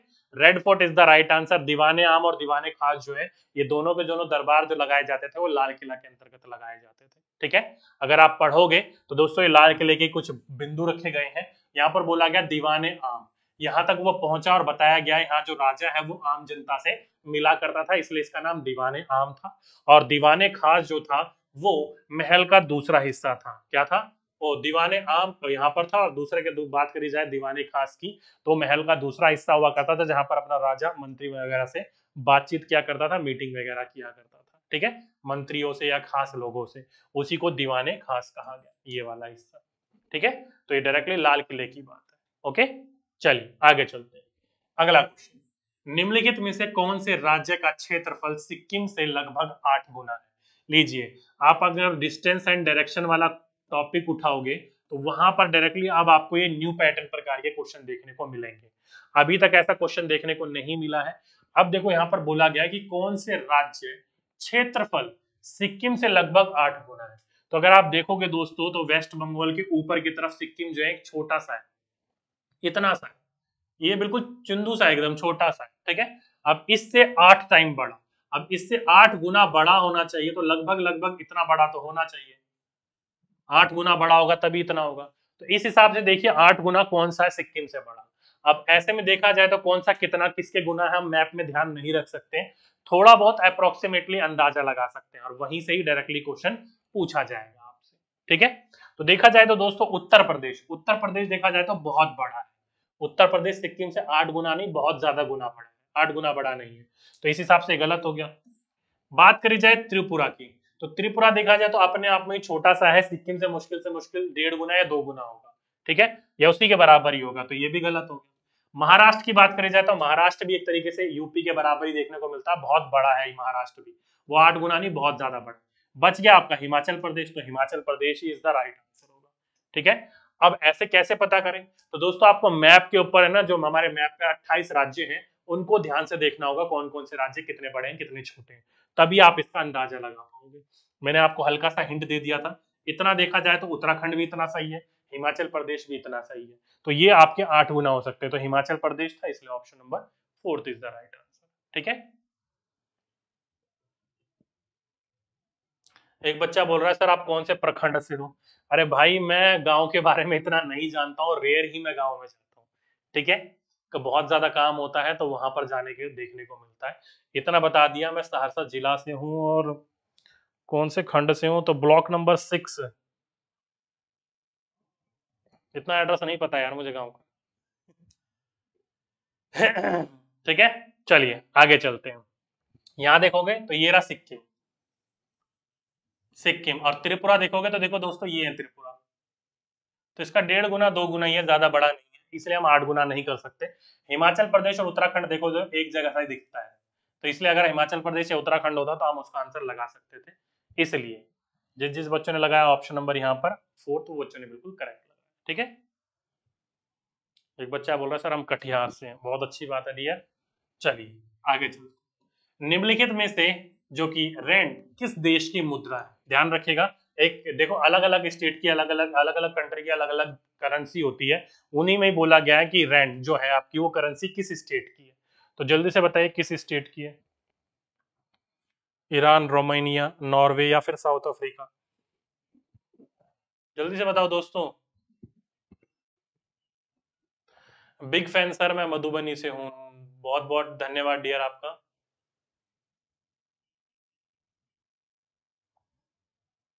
एक बार मैं बिहार भ्रमण पे ज़रूर जाऊँगा। तो आप लोगों को बता के जाऊँगा, जिस जिस लोगों को मिलना हो बिहार भ्रमण पे अलग अलग स्टेट में घूम के आऊँगा मैं। अलग अलग मतलब स्टेट में नहीं, डिस्ट्रिक्ट में। बिहार देखने का मुझे बहुत मन है, देखा नहीं है मैंने, पूरा। मधुबनी हो गया बोध गया हो गया अलग अलग स्टेट्स वगैरह हो गए। चलिए तो जिस जिस बच्चों ने इसका ऑप्शन नंबर क्या लगाया? रोमेनिया रोमेनिया नहीं है दोस्तों दक्षिण अफ्रीका है। क्या होगा? दक्षिण अफ्रीका होगा साउथ अफ्रीका साउथ अफ्रीका जो है, इसकी करेंसी जो होती है, वो रैंड होती है। ठीक है? अलग अलग स्टेट की आपको करेंसी ध्यान रखनी पड़ेगी, तभी आप इस चीज़ के बारे में पता करो जैसे कि फॉर एग्ज़ाम्पल के रूप में आपके एग्ज़ाम में देखा हो जाएगा, धीरम पूछा जाता है। धीरम आप सभी बच्चों को पता है कि यूए की करेंसी है, ये तो सभी बच्चों को पता है, धीरम वगैरह। लेकिन इसी के अलावा आपकी करेंसी की पूरी लिस्ट दी गई है। ये कहीं और से नहीं उठाई है, दोस्तों, मैंने आपकी मैथ की बुक से उठाई गई है, कक्षा चौथी या पांचवी की बुक से। पूछे जाने के पूरे पूरे चांसेस है। जैसे कि यूएई धीरम करेंसी होती है। हमेशा आपके एग्ज़ाम में देखने को मिलता है ये वाला बिंदु। लेकिन इसके अलावा भी आपको बहुत सारे बिंदु याद रखने पड़ेंगे। देखो दोस्तों, जैसे कि इंग्लैंड की याद रखने की ज़रूरत नहीं है। इंग्लैंड आप सभी बच्चों को पता है पाउंड होती है इंग्लैंड की। यूएसए की ध्यान रखने की ज़रूरत नहीं है, सभी बच्चों को पता है डॉलर होती है। जैसे कि यूए की हमने धर्म हमने बहुत बार पढ़ा है, ठीक है? तो इसलिए इस चीज़ की ध्यान रखने की ज़रूरत नहीं है। श्रीलंका की हमारे यहाँ पर देखा जाए तो श्रीलंकन रुपया चलता है वहाँ पर। तो यहाँ पर रुपया हो गया और नेपाल का भी रुपया हो गया। तो इस हिसाब से ये दोनों का दोनों सेम है। बाकी बचे है ना, वो आपको थोड़ा सा याद रखने की ज़रूरत है, ठीक है? वो आपको थोड़ा सा याद रखने की ज़रूरत है। तो ये पूरी की पूरी एक लिस्ट दी गई है आपके बुक के अंतर्गत, कौन से स्टेट की, कौन सी करेंसी क्या नाम है उसका, ठीक है? तो ये आपको ध्यान रखने की ज़रूरत है। अगर आपके एग्ज़ाम में पूछा जाएगा तो आपको इन चीज़ों के बारे में पता होना चाहिए, ठीक है? नहीं डियर मैं कभी सासाराम नहीं आया। चलिए, आगे चलते हैं। आगे बोला है कि निम्नलिखित में से ऑस्ट्रेलिया में कोई खरगोश नहीं थे। ऑस्ट्रेलिया में खरगोश लाए गए थे। तो आप सही बच्चों को पता होगा कि ऑस्ट्रेलिया जो है, वो एक तरीके से पथरीला इलाका है। तो वहाँ पर जो है, इतना प्रकार से खरगोश वगैरह जो है, वो एटीन सेंचुरी के आसपास देखने को नहीं मिलते थे। तो वहाँ पर एक समय आया कि वहाँ के कुछ लोगों ने खरगोश अलग कंट्री से लेकर वहाँ पर बसाए गए। तो धीरे धीरे खरगोश वहाँ पर इतने ज़्यादा हो गए, इतने ज़्यादा हो गए किसानों को बहुत ज़्यादा नुकसान पहुँचने लगा। क्यों? क्योंकि ऑस्ट्रेलिया के जो पूरा का पूरा वातावरण है, वहाँ पर खरगोश का कोई प्रतिबंधी यानी खरगोश को मारकर खाने वाला कोई जीव नहीं था। इसलिए खरगोशों की जो संख्या थी वो बहुत ज़्यादा बढ़ी वहाँ पर। तो खरगोशों की जो संख्या थी मतलब खरगोश को जो ऑस्ट्रेलिया में लाया गया था, वो कब लाया गया था, वो आपको बताना जल्दी से बताइए। किरण कुमारी कह रही सर, ऐप पर पढ़ाई नहीं होगी। नहीं डियर क्यों नहीं होगी? संडे के दिन क्लास नहीं चलती ना ऐप के ऊपर। कल आपकी मंडे है, कल से क्लास चलेगी। और रही बात मेरी ईवीसी क्लास तो कल से चालू होगी थी आप। अगर क्लास अटेंड करी होगी तो आपको पता होगा। कल मेरी एप्लीकेशन पे क्लास चली थी पैडागोजी की। क्यों नहीं पढ़ाई होगी यार? कैसी बात कर रहे हो आप लोग? ठीक है? तो दिया, इसका सही आंसर है 1780 में। ऑस्ट्रेलिया में जो पहली बार खरगोश लाए गए थे, वो 1780 में लाए गए थे और उसके बाद खरगोशों की जो तादाद है, वो ऐसे बढ़ी कि पूछो ही मन्ना अब किसान ही खरगोश से दुखी है। ठीक है? तो ध्यान रखेगा दोस्तों, ऑस्ट्रेलिया में जो था, पहले कोई भी खरगोश नहीं थे और 1780 में ऑस्ट्रेलिया में खरगोश लाए गए थे। और खरगोश को वहाँ पर कोई प्रतिबंधी नहीं था, इसलिए खरगोश की वहाँ पर जो जनसंख्या बढ़ी, उसकी आबादी बढ़ी, वो बहुत जल्दी बढ़ी। ठीक है? और आज किसान वहाँ पर बहुत ज़्यादा परेशान है। खरगोश जो है उनकी फ़सलों का बहुत ज़्यादा नुकसान कर देते हैं और किसानी आज जो है वो खरगोशों का वहाँ पर हंट करके यानी कि हंटिंग वगैरह करते हैं। तो ऑप्शन नंबर ए 1780 में खरगोशों को लाया गया था। कहाँ पर? ऑस्ट्रेलिया में। ठीक है? चलिए, अगला क्वेश्चन अगला क्वेश्चन बोला गया है कि निम्नलिखित में से विजय चौक से लेकर इंडिया गेट तक के राजपथ डैश किलोमीटर लंबा है। अगर आपने कभी इंडिया गेट गए होंगे तो वहाँ से विजय चौक से लेकर, एक विजय चौक है, विजय चौक से लेकर इंडिया गेट का रास्ता बिल्कुल सीधा है। यहाँ पर जो रास्ता है, वो कितने किलोमीटर का लंबा रास्ता है, वो डायरेक्टली आपका क्वेश्चन यहाँ पूछा गया था। बिल्कुल सिंपल सा क्वेश्चन है, बिल्कुल एकदम लल्लू सा क्वेश्चन है, कोई दिक्कत वाली बात नहीं ये क्वेश्चन मैंने एज दी आपका एड ऑन कर दिया। पूछा जाएगा भी तो आपको कम से कम पता होना चाहिए, आपकी बुक में दिया गया है। ठीक है? मैंने अपनी तरफ़ से नहीं दिया, ये पूरा पूरा बिंदु पढ़ते हो तो यहाँ से आपको एक क्वेश्चन देखने को मिलता है। लेकिन मैं इस क्वेश्चन का आंसर आपको नहीं बता रहा हूँ, आपको एज ए होमवर्क दे रहा हूँ। एज ए आपको मैं होमवर्क दे रहा हूँ, नीचे ऑफलाइन कमेंट में। मुझे इसका आंसर आप लिखिएगा ए है बी है सी है, या डी है, या वन है, या टू है, या थ्री है, या फोर है, जो भी आपके मन हो, वो ऑफलाइन कमेंट में लिखिएगा। ठीक है? चलिए तो ये था दोस्तों आज का अपना पूरा लेक्चर आज के लिए पचासी क्वेश्चन रहने देते हैं भाई। मेरी मेरा भी वज़न बढ़ गया, पेट दर्द होने लगा मेरा बोल बोल के, ठीक है? बाकी अब बात आती है इसका पीडीएफ कहाँ मिलेगा? टेंशन ना लो दोस्तों, इसका पीडीएफ अभी within five to ten minutes के अंतर्गत, ये हमारा टेलीग्राम चैनल है। कमेंट में देखोगे तो पहला कमेंट मैंने पिन कर रखा, उस वो लिंक ही है, उस ब्लू कलर का, उस पर लिंक पर क्लिक करोगे तो डायरेक्टली आप टेलीग्राम से ज्वाइन हो जाओगे। कोई कॉस्ट नहीं है फ्री ऑफ़ कॉस्ट यहाँ पर फाइव टू टेन मिनट्स के अंदर इसका पूरा का पूरा पीडीएफ अभी मैं डलवा रहा हूँ डाउनलोड कर लीजिएगा ठीक है? बाकी कई बच्चे कहते हैं सर, मेरा एप्लीकेशन कौन सा है? तो डियर मेरा पर्सनल एप्लीकेशन जो है, वो है डीके अकेडमी कई बच्चे मॉक पेपर लगाने की कोशिश कर रहे थे तो यहाँ पर ऑलरेडी पाँच से दस मॉक पेपर रखे गए हैं। फ्री ऑफ़ कॉस्ट है, कोई दिक्कत वाली बात नहीं है। तो आप वहाँ जाके लगा सकते हो। मोबाइल के लिए वो एप्लीकेशन वो मोबाइल पे चलती है। वहाँ जाकर आप वहाँ पर मॉक पेपर लगाना चाहते हो तो लगा सकते हो। बाकी ये अपनी इंस्टा की आईडी है, किसी को इंस्टा पर पर्सनली मुझसे ज्वाइन होना है तो पर्सनली ज्वाइन हो सकते हो, कोई दिक्कत नहीं है। ठीक है? चलिए। अब मुझे बताइए कि पूरा का पूरा ये मैराथन क्लास कैसी चली? आपकी कैसी लगी? ये पूरी की पूरी मैराथन क्लास आपको कैसी लगी? जल्दी से बताइए। सुपर। थैंक यू भाई, बहुत बढ़िया बहुत बढ़िया। पूरा सेशन कैसा लगा सभी बच्चों को?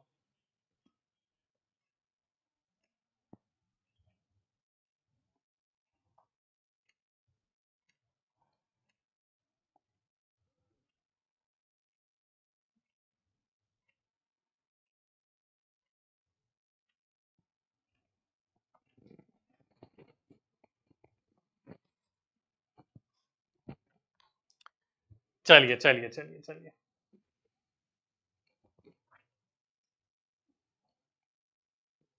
चलिए ईवीएस कंप्लीट नोट्स मैं आपको थोड़े दिनों में डलवा दूँगा इसी टेलीग्राम पर। दो चार दिन में बुक मेरी बन रही है। डाउनलोड कर लीजिएगा, कोई दिक्कत नहीं ठीक है? चलिए।